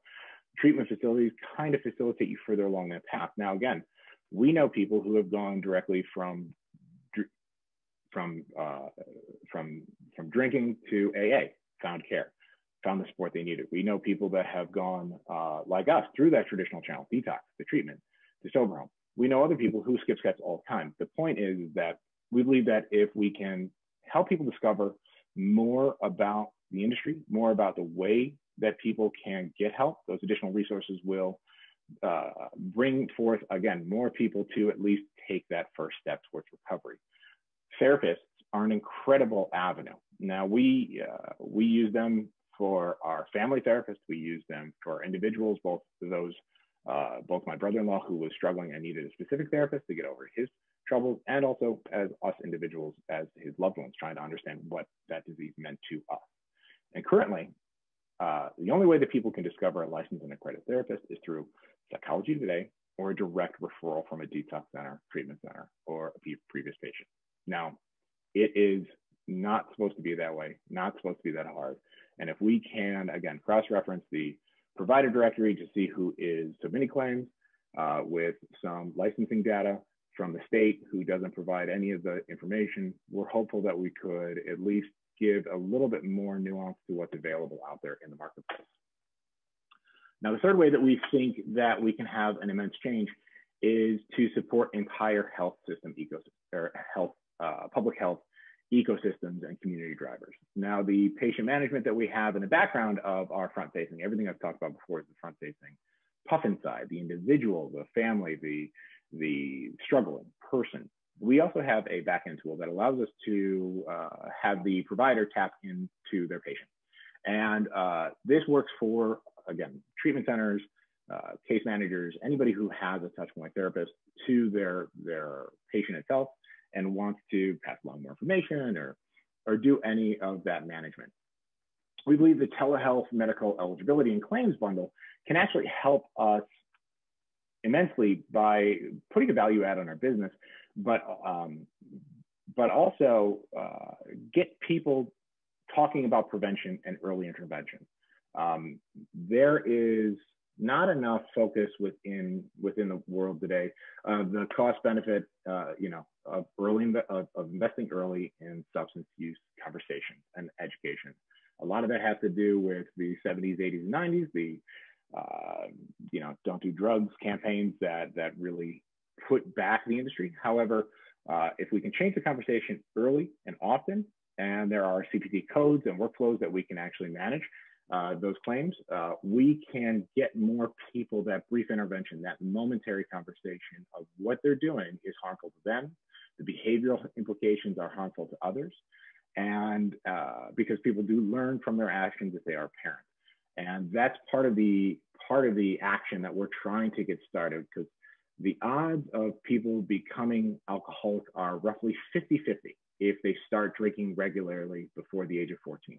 Now, there is no direct correlation that a parent does that. However, if we can introduce that concept and re reinforce why it is necessary for us to change that conversation through uh, different channels, um, we can we can utilize that evidence-based you know intervention um, to really change some of the cost reductions that are associated with that early young you know that that early adolescent behavior that that's that then changes into an addiction, uh, or even the individual who is older who is still struggling, we can hopefully get them to see that there are channels to help that they're not aware of, again, directly from their, their primary care physician. The costs are tremendous. I mean, if we can, um, every dollar spent, it, it goes, uh, goes tremendously far away for for the uh, benefit of society and the benefit for individuals. And that's why we are obviously impact um, zone. But again, what we're talking about is just getting people engaged. So how many people is that really? And again, uh, even if we don't look internally, the realistic um, uh, implication is that one of three of us are, are, are within that risky drinking category already. A doctor, a therapist. Uh, what we believe is even more interesting is that uh, a counselor, a, um, a whole subset of people at high schools can now uh, do these screenings and get kids involved that are private in ways that just help them rethink and reimagine their connection with drugs or alcohol. Um, and that's pretty much the basics of what we're trying to do. Uh, our target clients are county and state systems, uh, trying to get in with uh, multiple avenues so that, again, we can talk to the social services, uh, the county health system, the public high schools to get that education started early and often. Um, throughout the, you know, throughout that target client, obviously we want to get through employee assistance programs because the way employers and students and even large employees are looking at addiction right now is that it's only at the time of the problem. So they're probably offering treatment, they're probably offering therapy, but they're not offering those first steps. How do you get people to engage with that? How do you get people, even if you've gotten them to go to treatment, why are you not offering them that step work? So we also offer recovery maintenance, 12 uh, step app that, that offers alternative care, but it also showcases what's available um, locally and to them so that they continue to stay within their program and work towards that care. Um, and that's really our goal is trying to make a world of sober puffins a reality. Mm-hmm. Hey, Adam, great presentation. Hey. Go, go ahead, Laura. You go first. Thanks, G. Um, I was going to say, Adam, this is a wonderful presentation, and I was uh, I am in my colleagues to say this one. Um, I'm one of those three impacted families, so um, this is really important work that you're doing, and I commend your passion. You know, it's wonderful.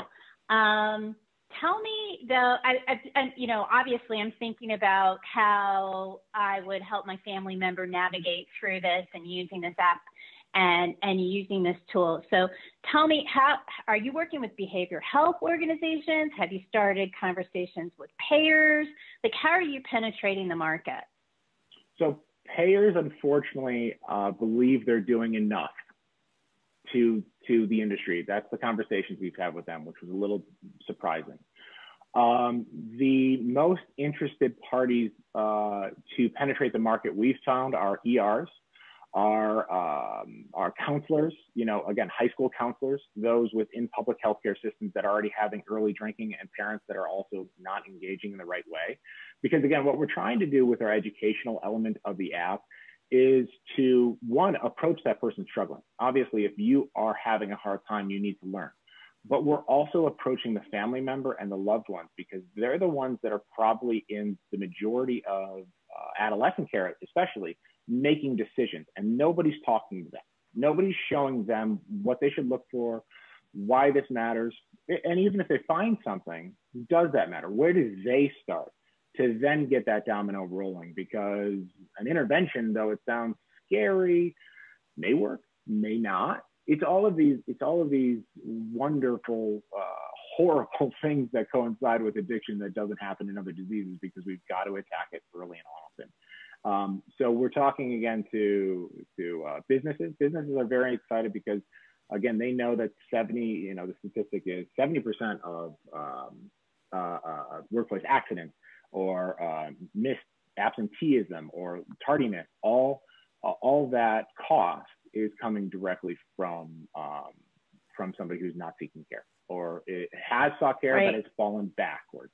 So that's who also is interested in continuing on with that that curve to make sure that they're supporting, supporting their their uh, their employee um, from not only start but also through the lifetime of the disease. Got it. Thank you for that. G, mm -hmm. go ahead. I'm actually going to pass to Sarah. I'll be I'll be quick. Actually, it's more of a, a comment. I was thinking about uh, people in the industry who really are equally passionate, and one person comes to mind. It's Dr. Diana Batari. She's at Advocate Health. She runs an opioid task force and also generally substance abuse. And that's one health system that comes to mind that is going all in, making investments, going at risk to have impact on this problem area in Illinois state. So if you need a connection to her, I'm happy to make that. Uh, but I, you know, I think there are some advocates in the health system, especially those are taking a lot of risk, who own ACOs or health plans themselves, that seem to be willing to uh, shift how they're handling these problems.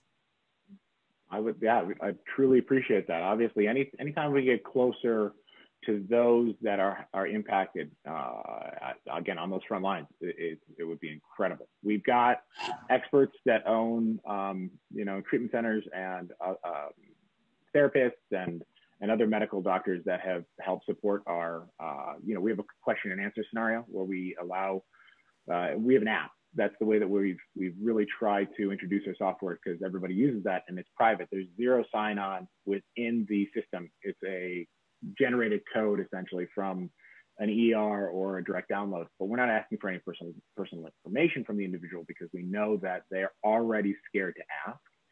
Um, so we're trying to approach that in a related way because that's where we were. We know if, if we were wondering, we we, we got isolated. We got tiny. Our our community when my brother-in-law first came out, became a family of three. It didn't become my entire extended family even. They didn't even know. So trying to be as personal with this as possible and learning from people like that, uh, like like Advocate or other places that see where their struggles are, I really appreciate that. Hey Adam, quick question. Very powerful stuff. Thanks for sharing this with us. Um, uh, questions related to acquisition of customers a little bit more deeper. Are you guys thinking about social determinants? Are you looking at which communities are deeply impacted to go target those specific geographies in the country? Can you tell us a little bit more about what your acquisition strategy and pipeline looks like? Yeah, so what we're trying to do is is take it from an employer scenario. So which which industries within the employment zone are actually more affected than others? Lawyers, uh, even even healthcare workers themselves, or, you know, police forces. Those are the ones that actually do have a higher tendency to fall victim to the disease later in life. So how do we get within those, change the way that they're talking about the disease so that their employees, their uh, EAPs, you know, employee assistance programs, are offering this? That's really the way that we feel the saturation can get out there. Obviously, we have the alternative view, though, is within community itself. You know, social determinants of health. Are there counties out there that are highly affected by addiction for one reason or another? How how do we get within that community? Because really, what we're trying to do is build a conduit system so that you can go on and see what's available to you. Now, again, each individual might want to access that marketplace in a different way. They might want to go directly to a detox center, directly to a treatment facility. But we know from our experience and from talking to hundreds of people that have uh, that are currently in remission that they didn't access it that way. They went through to AA first. They went to an alternative care place. Um, uh, one uh, one is a workout, you know, uh, substance um, uh, community support mechanism where they they they literally just tell people to be sober. Another wanted their their entire network to be online. So the reason that we're trying to diversify the conversation is to allow other people to see that the avenue is not a straight line. It is it, it, everybody's path can be unique, and everybody can find the support that they need, whether that be alone. Hopefully, there are loved ones and others coming along with you and educating them as well to, to join that conversation.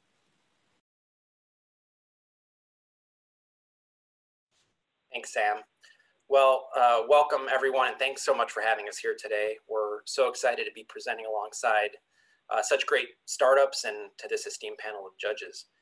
Uh, my name is Greg Cochera. I'm the Vice President of Sales and Marketing here at Azuba. We also have Bart Carlson, our uh, founder and CEO on the line. Uh, and what we're gonna be talking about here today is the Azuba Lifetime Clinical Records app. We've had a couple conversations over the last couple weeks uh, with Joe Baimia and Spencer Cross about consumer connected health and the exciting things that Change Healthcare is doing with interoperability and their interoperability API. And we believe that Azuba can really partner together with uh, Change Healthcare to be the front end for this uh, consumer connected um, health initiative and help consumers and their families save time, save costs, and save lives uh, in, in, the, uh, in the, in the uh, long run. So we're all aware of the 300,000 uh, uh, deaths that we're on the trajectory for for uh, COVID-19 here in 2020. What we don't hear about in the news, uh, the way that we do hear about the tragic COVID deaths, is the 300,000 people that we lose every year due to the lack of clinical data availability at the time of treatment and diagnosis uh, of medical issues. So that's the problem that we would really like to help solve we'd like to do well by doing good here, and uh, and we believe that there's some exciting synergies we can partner with Change Healthcare on. The main problem we're trying to solve is this lack of clinical data availability and the fact that our clinical records are siloed. So maybe uh, it's scary to learn that our doctors, uh, when they treat us and diagnose us, have about 17% of our clinical data history. And likewise, payers have claims data, uh, but they do not have our clinical data uh, when they're making approval and denial decisions. And we, as patients, only have about 1% of our uh, clinical data as well. So as you can imagine, this results in very high diagnostic errors and treatment errors uh, when our doctors are treating us. And that leads to skyrocketing costs uh, for payers. And specifically for the people who have chronic illness in the country, which is a, also a, a, skyrocketing number. Uh, about 60% of people now have one chronic illness or more in the country. So these high cost patients are seeing many, many doctors because they see specialists as well as other doctors along the course of a year. And that leads to uh, the top 10% of patients resulting in about 70% uh, possibly of spend for their payers. So it's a, it's a problem that's becoming worse and interoperability and sharing of clinical data is the key to solving it. The reason why payers are so interested in solving this and why we believe we can help payers is that because of this lack of clinical data availability, in addition to the lives that we're losing, uh, payers are wasting an estimated trillion dollars per year uh, of avoidable costs. So let's take an example that we all know uh, really well. Every time we see a new doctor, we're asked to show up a half hour early uh, to the waiting room and we're given a clipboard and we're asked to fill out our lifetime clinical history on this clipboard as well as all the drugs that uh, and, and prescriptions that we're on. And so uh, we rack our brain and we try to remember everything, probably miss things. And that's what our doctor is using to treat us. So let's say we forget to mention one of the drugs that we're on, or we list them incorrectly and list the wrong name for one of the drugs that we're on. Well, this new doctor uh, prescribes us a drug that interacts poorly with that drug that we didn't list because the doctor didn't know that we uh, were, were on that drug. And unfortunately, a day or two later, uh, we wind up in the ER. That's $38 billion of avoidable costs that payers are wasting due to that error. Because the interaction is so bad, uh, we, are, we have to spend the night in the hospital, maybe multiple nights. That leads to another $19 billion uh, of avoidable costs due to hospital stays. And then because the interaction was, again, so bad, uh, over the next six months, we have to uh, complete a bunch of follow-up appointments and tests, which leads to another $300 billion in cost for payers all because our doctors didn't have a full clinical history of us. So potentially lives are lost and payers are wasting all this money because of the lack of connectedness in the healthcare ecosystem. Some of the other problems we're trying to solve and uh, in our conversations with Change Healthcare, so far we know that they're uh, trying to solve as well, uh, is the fact that payers are using claims data rather than clinical data. And claims data is not cl clinical data. Uh, Payers are receiving the claims data one to four weeks after the appointment, but they need to make approval and denial decisions in real time, uh, either using incomplete data or delayed data. Uh, there's 500 different EHR formats out there, uh, so there's not a, an easy way to get a holistic longitudinal view of normalized consolidated data, and we're excited to hear that uh, with their interoperability API changes is trying to push that forward in terms of normalization of, of data from uh, disparate sources. And then lastly, uh, healthcare system lags behind as, as usual uh, in, in using faxes in this case uh, for 75% of patient data exchange, uh, which makes digital, uh, digital first kind of analysis in terms of artificial intelligence, machine learning, and all the other exciting technologies impossible to use, uh, further increasing these error rates and costs. So what we've created to help solve this problem and what we believe can be an incredible front end uh, for some of Change Healthcare's functionality on the back end with their interoperability API is a patient app for consumers and their families uh, to use to empower them to lead this consumer mediated exchange of clinical data and to bridge together payers, patients, and providers. So you can see here a couple screenshots of what we've built. It's live today. Uh, you can see that you can manage not only yourself, but your family members and anyone that you're a caregiver for using the app there in the first screenshot. Second screenshot, regardless of doctors that you've seen, uh, all together holistically, you can see in a date range, a graphical view of your vitals, in this case, body temperature, heart rate, body mass index. On the third screenshot there, you can see a rolled up, finally holistic longitudinal medical record for this person. And by the way, this is being powered on the back end by our parent company, Napersoft's communications management software. It's enterprise software. Actually, Change Healthcare is one of our great customers of Napersoft and has been for several years and uses Napersoft for its communications management as well. So that powers Azuba on the back end in terms of communications and making this digestible. And then lastly, you can see a transmission request. So now pa patients themselves are empowered to transmit their medical records directly to their doctors to share what they'd like to share. Again, the, uh, giving the consent to do so and actually being empowered to share on, on behalf of themselves or their family members. So let's sum it up with a couple of use cases to show you how we think this might work uh, with our front end and uh, the interoperability API on the back end. So we have our, our member Megan, uh, and she has a daughter Carly who unfortunately has cystic fibrosis. And Megan, you can see in the screenshot on the right, is using Azuba for Carly. And first she uses our provider directory to find a new in-network pulmonologist for Carly to see and then is able to transmit Carly's clinical history or whatever she wants to share of Carly's clinical history to Carly's new pulmonologist. In addition to that, because Carly sees her primary care physician multiple times a year, uh, Megan is also able to, to trans, set up a recurring transmission of Carly's uh, data uh, uh, and encounters with her newest doctor, as well as all of her other specialists, to go back to the primary so that the primary can be kept informed and treat Carly appropriately uh, when they see Carly as well. So we've now been able to empower here Megan and Carly to receive better care and better outcomes and also help the payer in the long run because now the payer uh, is able to make better approval and denial decisions as well as uh, probably has less cost for Carly have, receiving better care due to her providers having a full picture of her clinical history.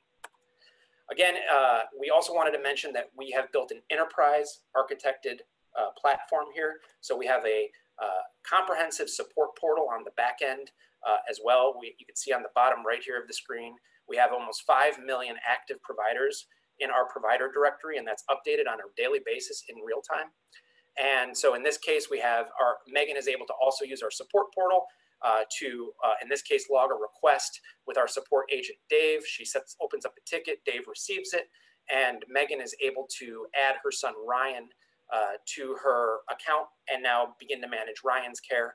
Uh, Dave helps her link Ryan's records and uh, and we go from there. So we just wanted to make make sure that you knew this. In addition to being a front end smartphone app, we also have uh, enterprise architecture and support on the back end. So again, we really believe here that uh, you know the real time consumer connected health is the future of medicine. We were uh, really excited to have that conversation with Change Healthcare as we learned about the interoperability API and that uh, and that Change believes the same thing. And we're excited to continue exploring a possible partnership on how we can work together and uh, and provide better outcomes for both payers and members.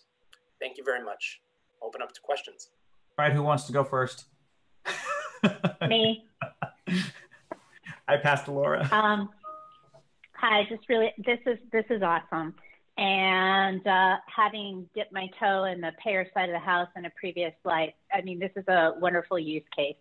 Um, I'm curious though, because it's also a pretty compelling use case on the provider side of the house. Um, have you given any thought to that and sort of expanding your market footprint? So, so we have um, we, we've thought about both, and both are possibilities, and we actually have a roadmap where uh, we we do uh, go to market, and our, our primary target would be uh, providers as well. Uh, I mentioned our parent company, Napersoft. Uh, is communications management software, and we, in addition to working with Change Healthcare and counting Change Healthcare as one of our great customers, uh, we have three out of the top four payers uh, and several others below that using Napersoft for our communications, uh, for their communications management every single day. And so the reason why we targeted payers first and foremost here in this initial phase is because of our uh, you know, internal knowledge of, of knowing payers and uh, having those relationships. But we certainly mm-hmm. believe that providers uh, are, uh, you know, a great target as well and can stand to obviously benefit from this greatly. Yeah, I would also say that you guys should give some thought to, um, you know, the goal here is to create a frictionless ecosystem. And we all talk about payer and provider collaboration over and over and over again. Um, I would challenge you guys to think that about the use case where you really could help reduce that friction between payers and providers with this tool. So, really good job. Thank you. Yeah, we and we believe you know con- consumer mediated exchange seems to be at the forefront, right? Especially as these uh, rule changes come about next year uh, with uh, you know the ONC and, and CMS, and so we believe that consumers will help lead that, and this is a way to bridge all three pr providers, uh, consumers, and and payers. Just tagging on to, to Laura's comments, you know, ONC is is going to eventually enforce what they said they want to do in cures and information blocking. So you have an opportunity here, an interesting opportunity at that, to, to use this tool to uh, to get that EHI out and get it in the hands of the patients. Uh, my question though is more around business model. So who is paying for this today? And as you look forward, how do you charge for it? And you know, beyond your existing relationships with existing customers or customers from your parent, how do you bring it to market? Yep. So uh, our, our model is uh, is PMPM. Uh, there's obviously a uh, you know a, a, a, upfront license and startup fee. As uh, our goal is to have a kind of a quick start and for for uh, for payers and and for that it to be made available to consumers through their payer potentially. Uh, and and so it would be a PMPM model with some startup. Our goal is to come on board and help connect uh, whichever members they want to have access in terms of demographics and preloading all of that, and then uh, from that point on, uh, it would be it would be PMPM. So that's what we're thinking about in the initial phase. Bart, I don't know. Uh, I know Bart Carlson, our founder and CEO, is on. I don't know if he wants to add anything to that.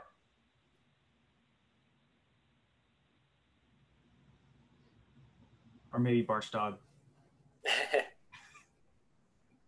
yes. but that, that makes sense. Thank you, Greg. Great presentation. So Greg, this is Kristen. Great presentation and completely agree with kind of the the fact that we've got information all still in silos a gazillion years after we've been trying to fix that. The addition that I've seen the number of people trying to do payer provider back and forth, but bringing in the patient, I think is, is, is clever and interesting. How are you seeing this portal compare to and interact with the other um, patient facing tools provided by EHRs and other systems? Um, as kind of, there's a lot of people trying to kind of get the eyeballs of the patient. Yeah, I think. I mean, I think we we we sit on top of that, right? It's the it's the world of interoperability. So um, I think, as I mentioned, there's about 500 different EHR formats, and that's kind of what's led to uh, this siloing of data. And so, as as you see with the HIEs and and and the like out there, uh, there needs to be something that sits on top of that um, that it, uh, you know partners amongst all of them uh, to to properly you know put patients and, and payers uh, uh, first to be able to share that data and to you know normalize. One of the things when we had the conversation with with Spencer and Joe first learning about the interoperability API as we thought through this presentation, uh, we were excited about uh, their ability to normalize the data from those disparate EHR sources. And I think until you get a single holistic uh, longitudinal record um, that is collapses uh, the EHR formats into one format, but more importantly, uh, each of those EHR uh, formats are stored in encounters for every single appointment. So as I mentioned, you know, a, a high cost patient could be having 50 or even a, you know 100, I don't know how many doctor's appointments uh, or, or, various encounters of, of, with doctors over the course of a year. And so the important thing is that uh, all of that data can be digestible in a single format and be ready, uh, uh, especially to use uh, artificial intelligence, machine learning, and all the other uh, uh, technologies that have, you know, are, are the next generation. Uh, like you, like you mentioned, you know, health, even though it's life and death, kind of lags behind every other industry. We're able to move money with a single click in between our banks, you know, millions of dollars, et cetera. But for something that's so important, we're stuck using faxes and filling out paperwork on clipboards in doctors' offices. I do love the clipboards. Isn't that awesome? Yeah. I still have those. Some pretty luminary uh, institutions too, scarily enough. it's crazy, right? I mean, yes, it is. say nothing of faxes. My goodness, it's 2020 after all. Exactly, and and we're never going to get to that that point where uh, all of these visions of you know the various startups and everyone doing great things uh, in terms of artificial intelligence and uh, and machine learning and the rest of you know what's coming next in, in digital for all these other industries until we have digitized clinical records that are normalized in a format um, that, that that you're able to do that in. So you know as as long as we continue using faxes, it's not happening. Thank you. Yep. Great. Thank you so much, Greg and Bart, uh, for your presentation. Thank you so much. Thanks, everyone. Hey, good morning, every or good morning, good afternoon, everyone. My name is Alex Baki. I'm a physician co-founder and CEO at Valhalla Healthcare. We're a team of doctors, data scientists, and developers have gotten together to solve some of the biggest problems in healthcare. And the main problem that we're initially solving right now is the amount of time that doctors are spending on the computer, which is about half of their clinic time. And that's unfortunately only leaving about 30% left for patients direct, the direct face-to-face care. And how we're doing that is with our product in uh, Alivia. And Alivia is an intelligent patient intake tool that automates clinical notes for healthcare providers um, and, and in particular physicians. So this, here's how it works. So as soon as an appointment is scheduled, uh, you as the patient will receive a text message, an email, a portal notification, or all of the above, uh, since we can also integrate directly in the portal, where asking you, say, hey, you know, thanks for uh, scheduling your appointment. Please fill out this pre-appointment questionnaire. Now, this isn't just any static pre-appointment questionnaire that you might be used to doing on that paper and clipboard. Uh, this is something that is tailored specifically for you, your chief complaint, your visit reason, even the specialty of the doctor, your medical history, and providing you kind of physician, clinician level intake to gather the most important clinical data elements necessary to, of course, uh, you know, formulate a diagnosis, but then for our part to construct a clinical note in the documentation.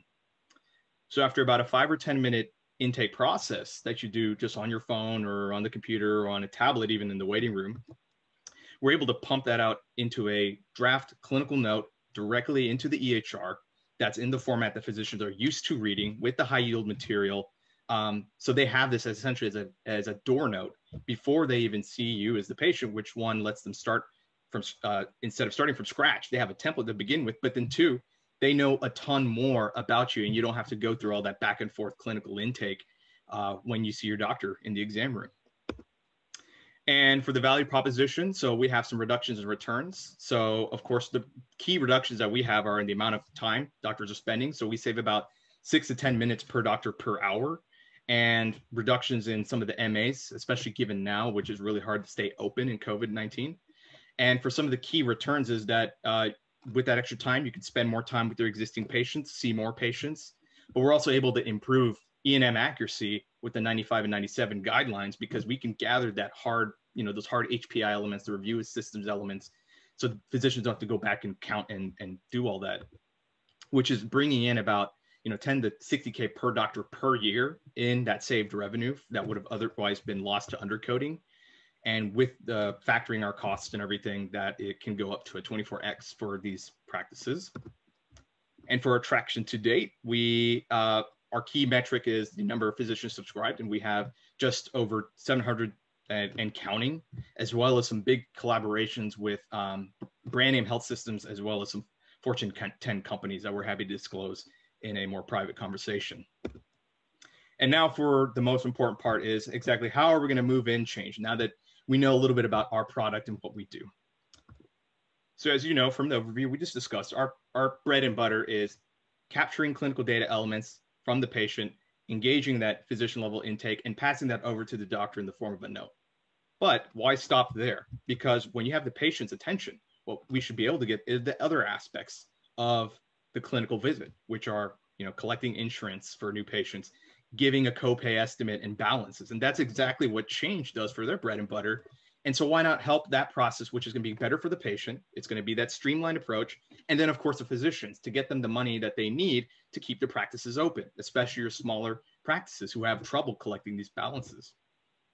And because we love algorithms as well as much as you guys do. I don't know maybe even more. It's, it, we'll have to might have to fight over that one. Um, want to give you a step by step of how exactly we're going to use some of your APIs. So first in the scheduling process, either on the phone or on a portal, you know, the patient can schedule with that kind of all the, the normal go-to, and they'll receive a link to our intake, as you can see here in the middle part. However, with the new shop, shop book and pay API, the patients can directly do that themselves without having to go through that, you know, really disjointed process. And that's also bundles in together a bunch of things all at once but let's go through that first scenario as well to get to see the other APIs in play. So during our step within our Alivia platform, the patient uh, enters their demographics and insurance information. So this is where eligibility V3 comes in because the patient will put in their demographic, social security number, name, gender, age, that, and then from our end for the provider, the NPI, right, the provider, every, all that information will give an estimate then down downstream because we can pull then the plan, which includes the copay, the co-insurance amount, you know, the group numbers, all that good stuff, and that will come downstream as I mentioned. Then for this third step, they engage in that what we do, the clinical level intake that is adapted to that patient.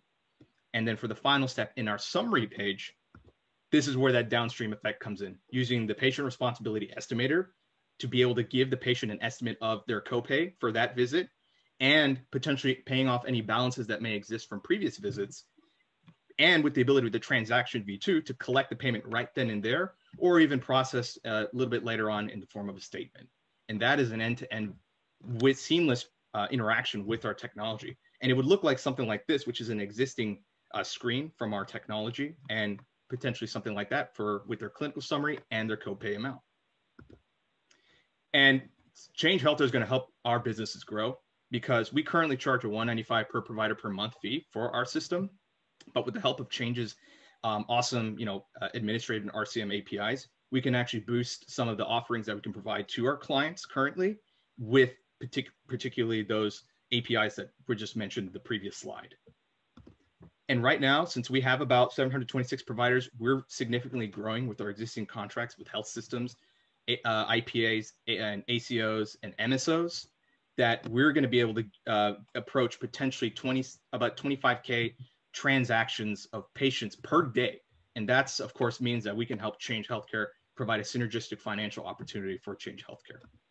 And that's not all. This is our primary focus but there's significant synergy downstream because we're an ai machine learning company at our core with the clinical data elements that we collect and our data model and we're looking to partner in the future after uh, the first quarter of 2022 to focus on some of the CDS hooks that you provide, providing our, our, our unique data model and data streams to combine with analytics for your current customers in the payer and health system uh, uh, landscape. So this is just the beginning. And um, with that, we're looking forward to potentially working with y'all. Thank you for your time. And we're Valhalla Healthcare and we're helping doctors reduce documentation time right now but together we can definitely change healthcare for the better. Thank you. Yeah no, i was going to say great great uh, great presentation. Nice job uh, and love the way you're incorporating our apis obviously. Um, the you know the question i've got on the the platform right for, so it's it's kind of interesting right for the 295 a month right you know the primary value prop that you've articulated so far is around uh, just basically work reduction to the provider do you have a way to sort of illustrate that or that you would use when you present or, or pitch that to a provider in terms of you know what they could save or what's the kind of ROI associated with your platform? Sure, absolutely. Yeah, the primary ROIs, and you know, for all of our clients to date, um, the thing is they've been brought to the upper leadership, especially our health system customers, by physicians. Physicians know instantly the value proposition when they hear us or present it helps that I'm a physician. It helps that over half of our team are physicians, including the developers. We have full stack engineers that are current hospitalists practicing. So that really speaks to how we approach the problems in particular. And because of that, the physicians already know the value proposition like that. But when it comes to the finances, we also have the hard ROIs in the form of the undercodes, which are about 20% currently, which is a significant amount of money that's left on the table. We help with that because we can capture all those clinical data elements and they don't have to fear about being able to code and then having an audit because their notes are actually can resist those audits. Um, and then, of course, really the main ROI for these physicians, especially in your small to medium sized practices, is time. They want to be able to have more time, and we help do that so they don't have to spend as much on the HPI, the review systems, and it's their choice what they spend that time. And I think that's the key value proposition for them is that autonomy to decide what they do with that time.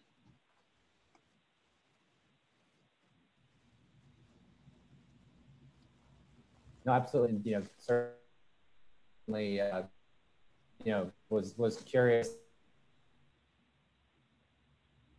Uh, you know, the care and uh, capture that in the billing. So uh, helpful. Thank you.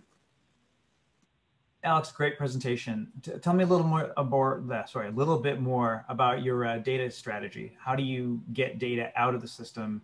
Obviously, you're capturing a lot of it, and, and how are you thinking about in terms of you know greater interoperability, FHIR, those kind of things? You know, I'm glad you brought that up because that's our key long-term strategy. We are providing value today in the firm of that form of workflow optimization.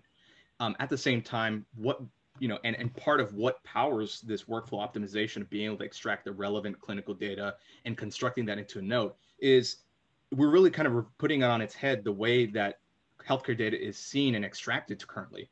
AWS and even you know your IBM Watsons currently tap into notes first for the, extracting their clinical data elements and extract out of that. We flip it on its head. We collect the clinical data elements first and then construct the note because that allows us to be in control of the quality of the clinical data that is extracted. Otherwise, you have too much variance and variability across different providers, um, you know, of different specialties, or just even the same specialty based on their own way of practice. And with the inherent inaccuracies that are, of course, involved in one humans, but then also in physicians, we can account for that and provide significant quality data. And because of that, we have tens of thousands of discrete clinical data elements that do not exist in the EHR because the EHR is just simply positive chest pain, negative chest pain. We do left-sided chest pain with pressure described as a pressure in the retrosternal associated with improvements with nitroglycerin and you know over the other other over-the-counter information worsening with exercise. Each one of those single data elements creates a discrete it, exponentially creates a different you know total number of elements that have a quantity associated with them to a particular disease, but then a disease to a person. So I know that might not be the huge scope, but that's kind of our, our realm where we're looking to get into starting more in 2022, where from our internal data model, we can actually map out to FHIR to H. Well, we do that now, but we can improve on FHIR HL7 because even in FHIR, which is our most latest and greatest, doesn't account for significant amounts of clinical data elements, um, right. like social history and uh, and really key data elements in there. That's the key Great. difference in us. Great, thanks. Alex, it's Kristen. Really great presentation and uh, something that's near and dear to my heart, just coming from Nuance. know a little bit about notes. but you know, one of the you talked about time savings for the physicians, and I'm very much familiar with the problem of pajama time with the EHR. Um, but there are a number of clients out there that actually contemplated this workflow improvement and being able to drive capacity and throughput. Have you gotten any data around actually modifying the workflow to be able to get more patients through the door that's a really good question. Um, we haven't at this point in time. Our our mantra is, especially knowing that most of our us are physicians, is clinical workflow is very delicate. Um, physicians are very, um, let's say, defensive of their workflow. Don't like to be told what to do. They don't like change. Uh, no pun intended. And you know, sorry, they you know they don't like the change action, the verb, not the noun. Um, I'm sure they love change, the noun. Uh, so that, that's the key aspect, and that's I think our value proposition is that we're going in and adapting to the workflow because the physicians with our technology right now never interact with it ever. It's all fully patient facing. It's integrated with the EHR and drops the note as a draft format in the EHR so they have that for chart review before they see their patient. They never engage with our platform whatsoever. So that's a key value proposition we provide. But however, moving forward and studying further as we have more customers growing and more feedback from the physicians, we are definitely keen on on studying how can we, you know, take some best you know best practices and see if we can study them you know public even publish the data and then maybe recommend and, and help other physicians or providers or practices or networks that are struggling with this workflow and help provide that additional value to them perfect thanks alex great thank you so much alex thank you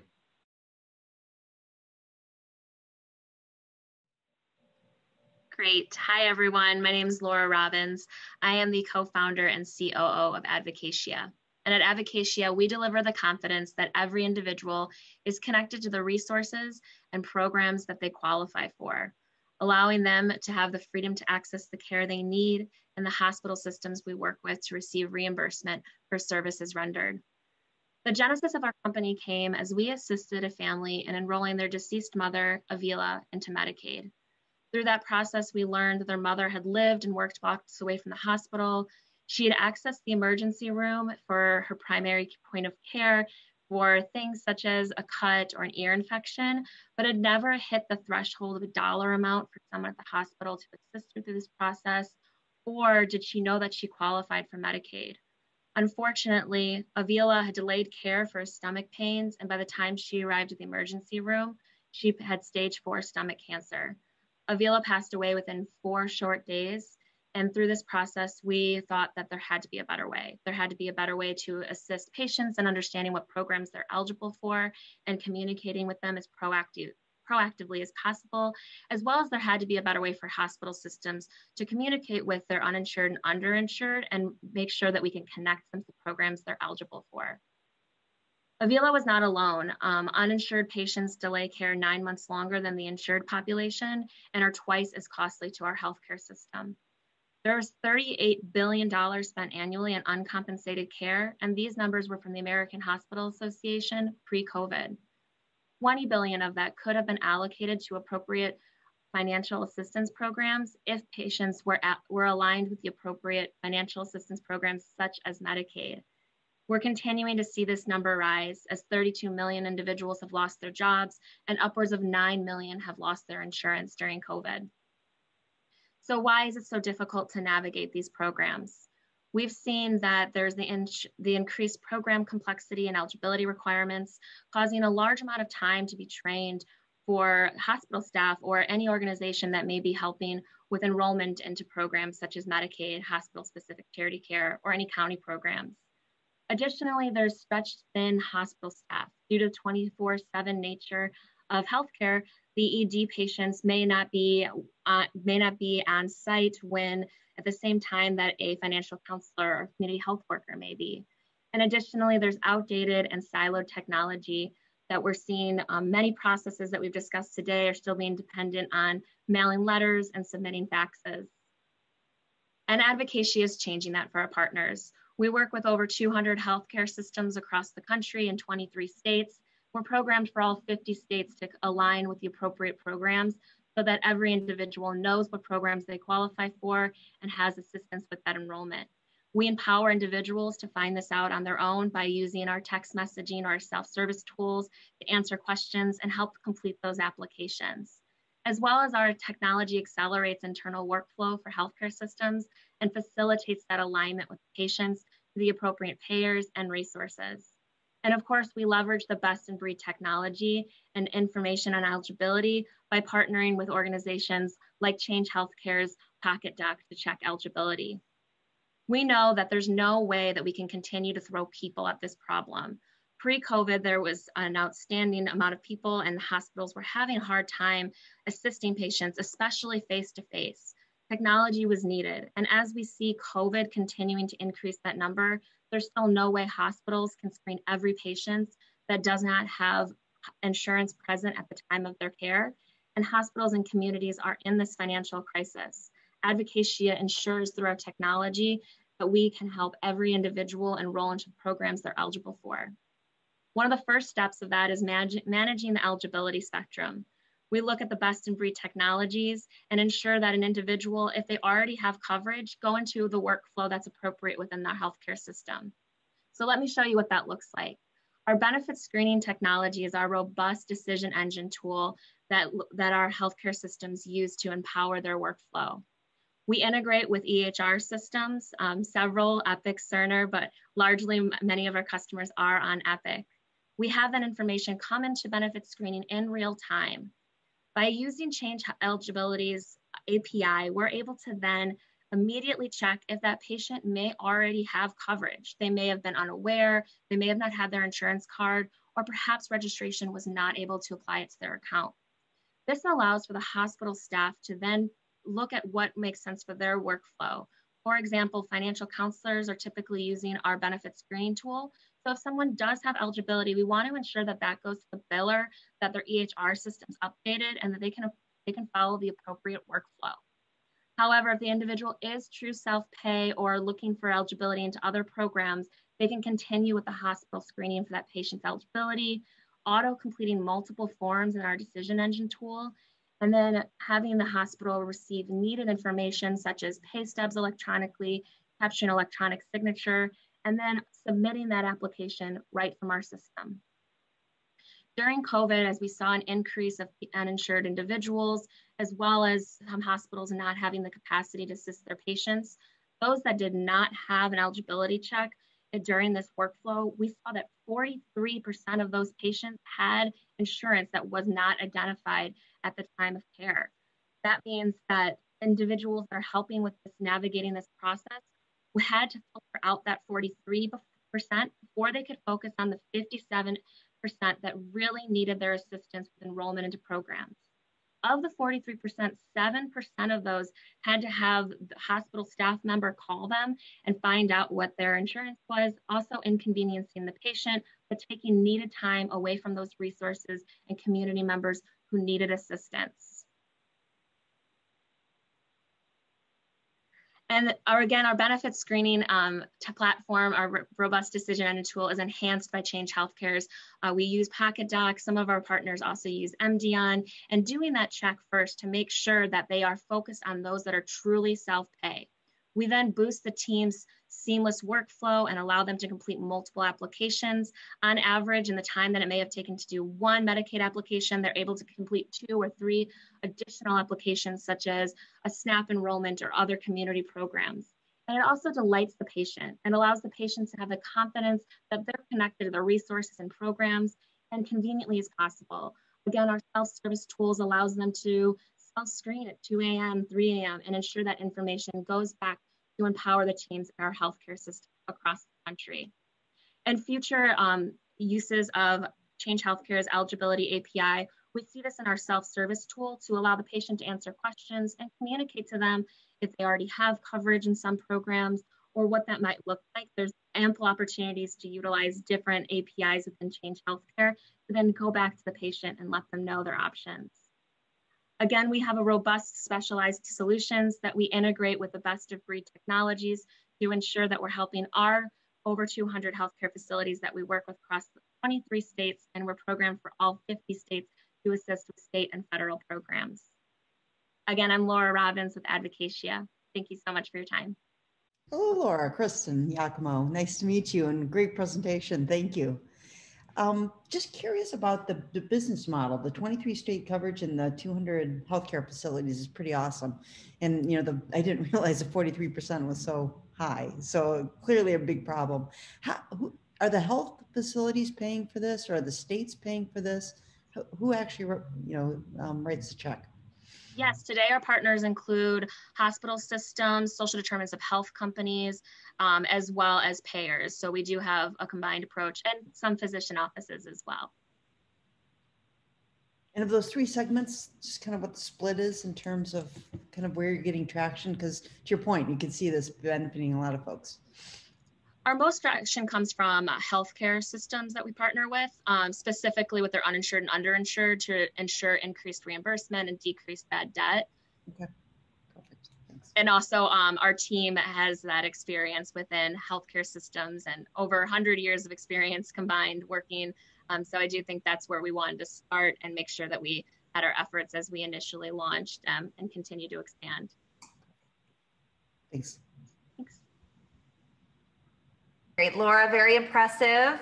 An important problem that you're solving with the team. What are some of your greatest barriers to going to market? Um, so I would say originally some of our biggest barriers were that people thought that the underserved community didn't want to communicate SMS text message or may have not had access to a smartphone. Um, our early conversations with CFOs at healthcare systems allowed us to educate that, you know, studies show that that's not true. Um, that's why we have the text messaging availability. 78% of individuals have a, um, under making 35,000 a year, I believe what this, the study showed, do have a smartphone and 98% have SMS um, text messaging ability. So overcoming some of those items, I think, you know, a lot of people have started to look at Medicaid and looking at those individuals that are on those programs or the underserved community more as consumers in healthcare as we move towards that. Um, but that was our largest barrier as we first launched and wanted to make sure that the underserved community could communicate and what's most convenient for them. And during multiple hours, we see several text messages come over at 2 a.m., um, 11 p.m. times when a financial counselor is not available to answer those questions and share with them that they are eligible for Medicaid or other programs. That's great. Great overcoming it.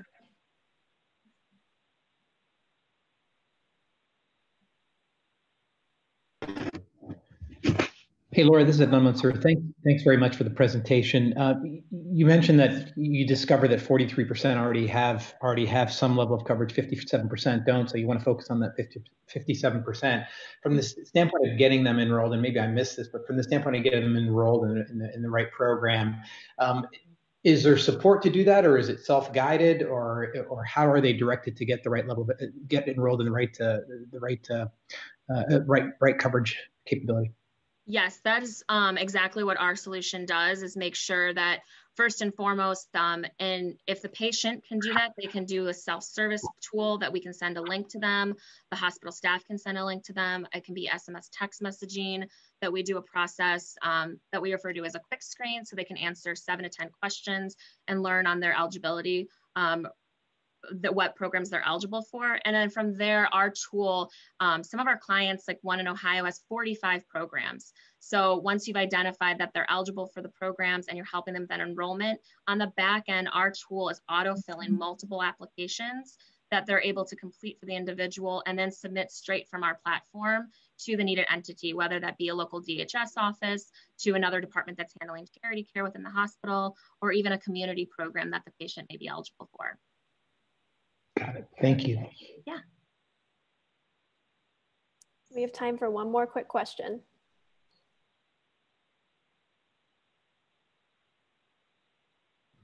So one more quick question. How many patients, uh, can you, do you know about how many patients are actually using your tool? Um, we've assisted over 150,000 patients. Um, and we've had more than that um, communicate with our tool, but for the actual submission piece. Okay, And I will say we've had a 65 to 75% response rate from text messages in the ED specifically for one case study that we did. So having that inbound communication from patients, especially in the underserved, has been um, made a huge difference, especially as they move teams remote um, in a COVID environment. Great. Nice work. Thank you.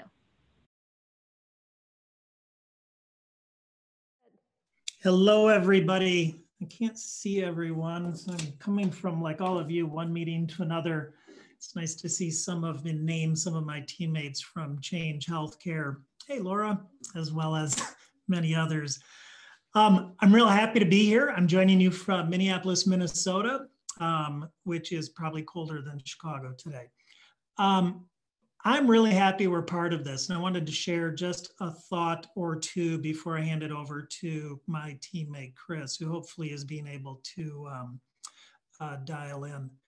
Um, behind me, you see the vision statement of Change Healthcare, inspire a better healthcare system. And as I think about what you guys have been doing uh, today and even leading up to today and after today, I want to highlight two words in there the first word, because every word was very deliberate when we put that vision statement together, is inspire. And we chose inspire because we don't own it, we don't build it, we're not creating it, we're inspiring it. We know healthcare is a team sport, and it's because of that we want to work with the collaborative transformers that are really inspiring things to happen in the second word, a better way. I think it's fair to say everybody in our organization is restless. We're restless in terms of uh, wanting to change the status quo. We know that innovation requires restlessness and creativity.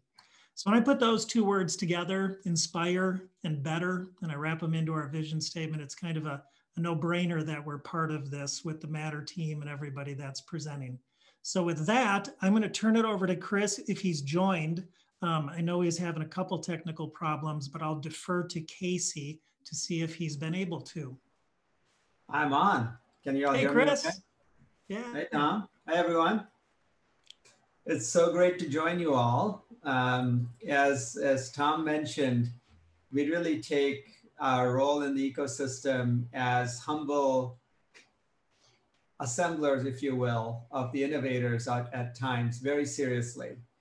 So I'm excited about everything that you all are doing today. Um, anything that brings us closer to the ground in terms of touching the entrepreneurs and feeling their energy is always extremely welcome uh, in my in my book. So healthcare innovation sometimes feels like farming in the desert. I think we've all all felt that. Um, it seems like uh, although there's a strong need for the innovation, there are so many challenges to address, but it feels like the entire system is working against you to kill your great idea. So um, all I can say is, you know, welcome to healthcare. Uh, it's one of the most difficult industries to innovate in for so many reasons. But fortunately, um, it's pretty obvious from the, from the teams that, that have assembled here today that it has not stopped entrepreneurs from uh, willing to take up the fight, from willing to uh, innovate, and um, from willing, in, in fact, to die on the hill if you have to in, in trying. So partly this is due to the fact that you know so many of the inefficiencies in healthcare are somebody's revenue. And when you talk about billions of dollars of inefficiencies, you're talking about a lot of people's jobs. So it's not surprising that innovation faces a lot of headwinds when you're trying to do it from the ground up. And one of the most exciting parts of my job is working with companies that are trying to innovate and that are trying to innovate at scale. And I like to say that, you know, being in a platform business is uh, somewhat tricky because on the one hand, you want to do things at scale, and that means you try to do everything yourself because you, know, you have big networks, you want to do everything yourself. On the other hand, um, if you try to go down that path too much, you end up not getting anywhere. The reality is healthcare is too big and too complex for any one company, no matter how big, to really crack um, on their own. And that means that you have to go down the path where you have like-minded road warriors, so to speak, who can travel um, that journey with you, who are willing to invest, who are willing to take risks. And it's the, the most, you're having the most amount of fun when different people are playing different roles and it all comes together like a nice symphony. That's the thought anyway.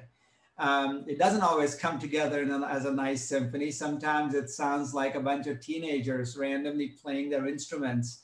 But um, I think what we try always try to do is to play at, with people's strengths.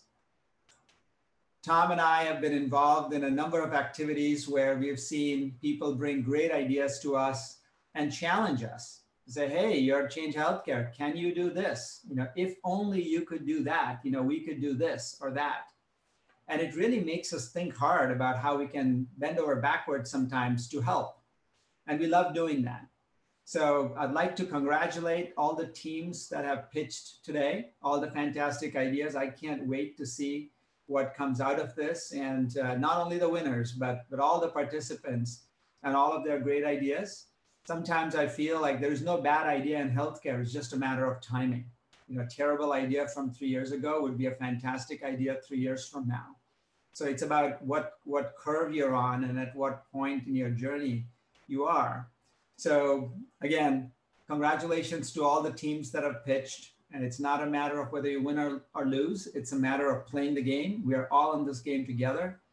Um, anything that we can do from the Change Healthcare perspective to encourage you to innovate, to bring the cost of innovation down, and also to take some of the risk away. We know that as entrepreneurs, you face so many risks when you start a new business um, it's, a, it's, a, it's a very long list of, uh, of headwinds and risks that you take on.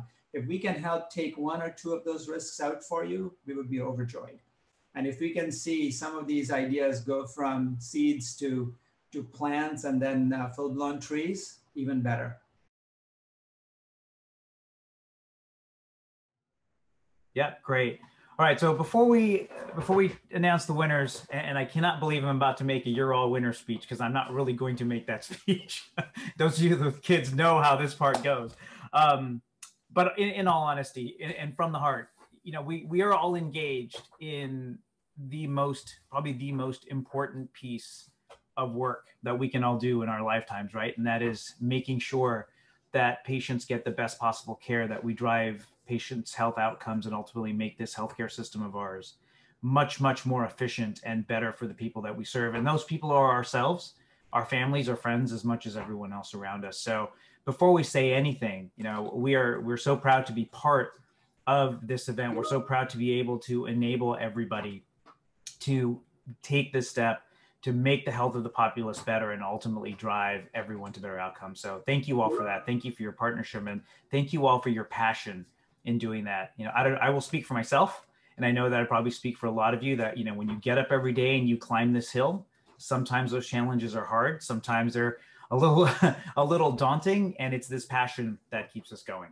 So thank you all for that. And I'm sure my, my fellow judges would echo that, that same sentiment. That said, let's get to the thing that I know you all want to hear, and that is the, the three winners of our contest. I will tell you the um, the voting was close and the scores were close, and, and you know the the difference between first place and second place here was literally a point. So everyone did an amazing job, and you all presented your cases really well. That said, and I apologize if I mispronounce any one of these names, uh, but Cliexa, congratulations, you took first followed by ClearStep. Congratulations, you took second. And Advocatia, if I got that right, congratulations, you took third. So great job, everybody.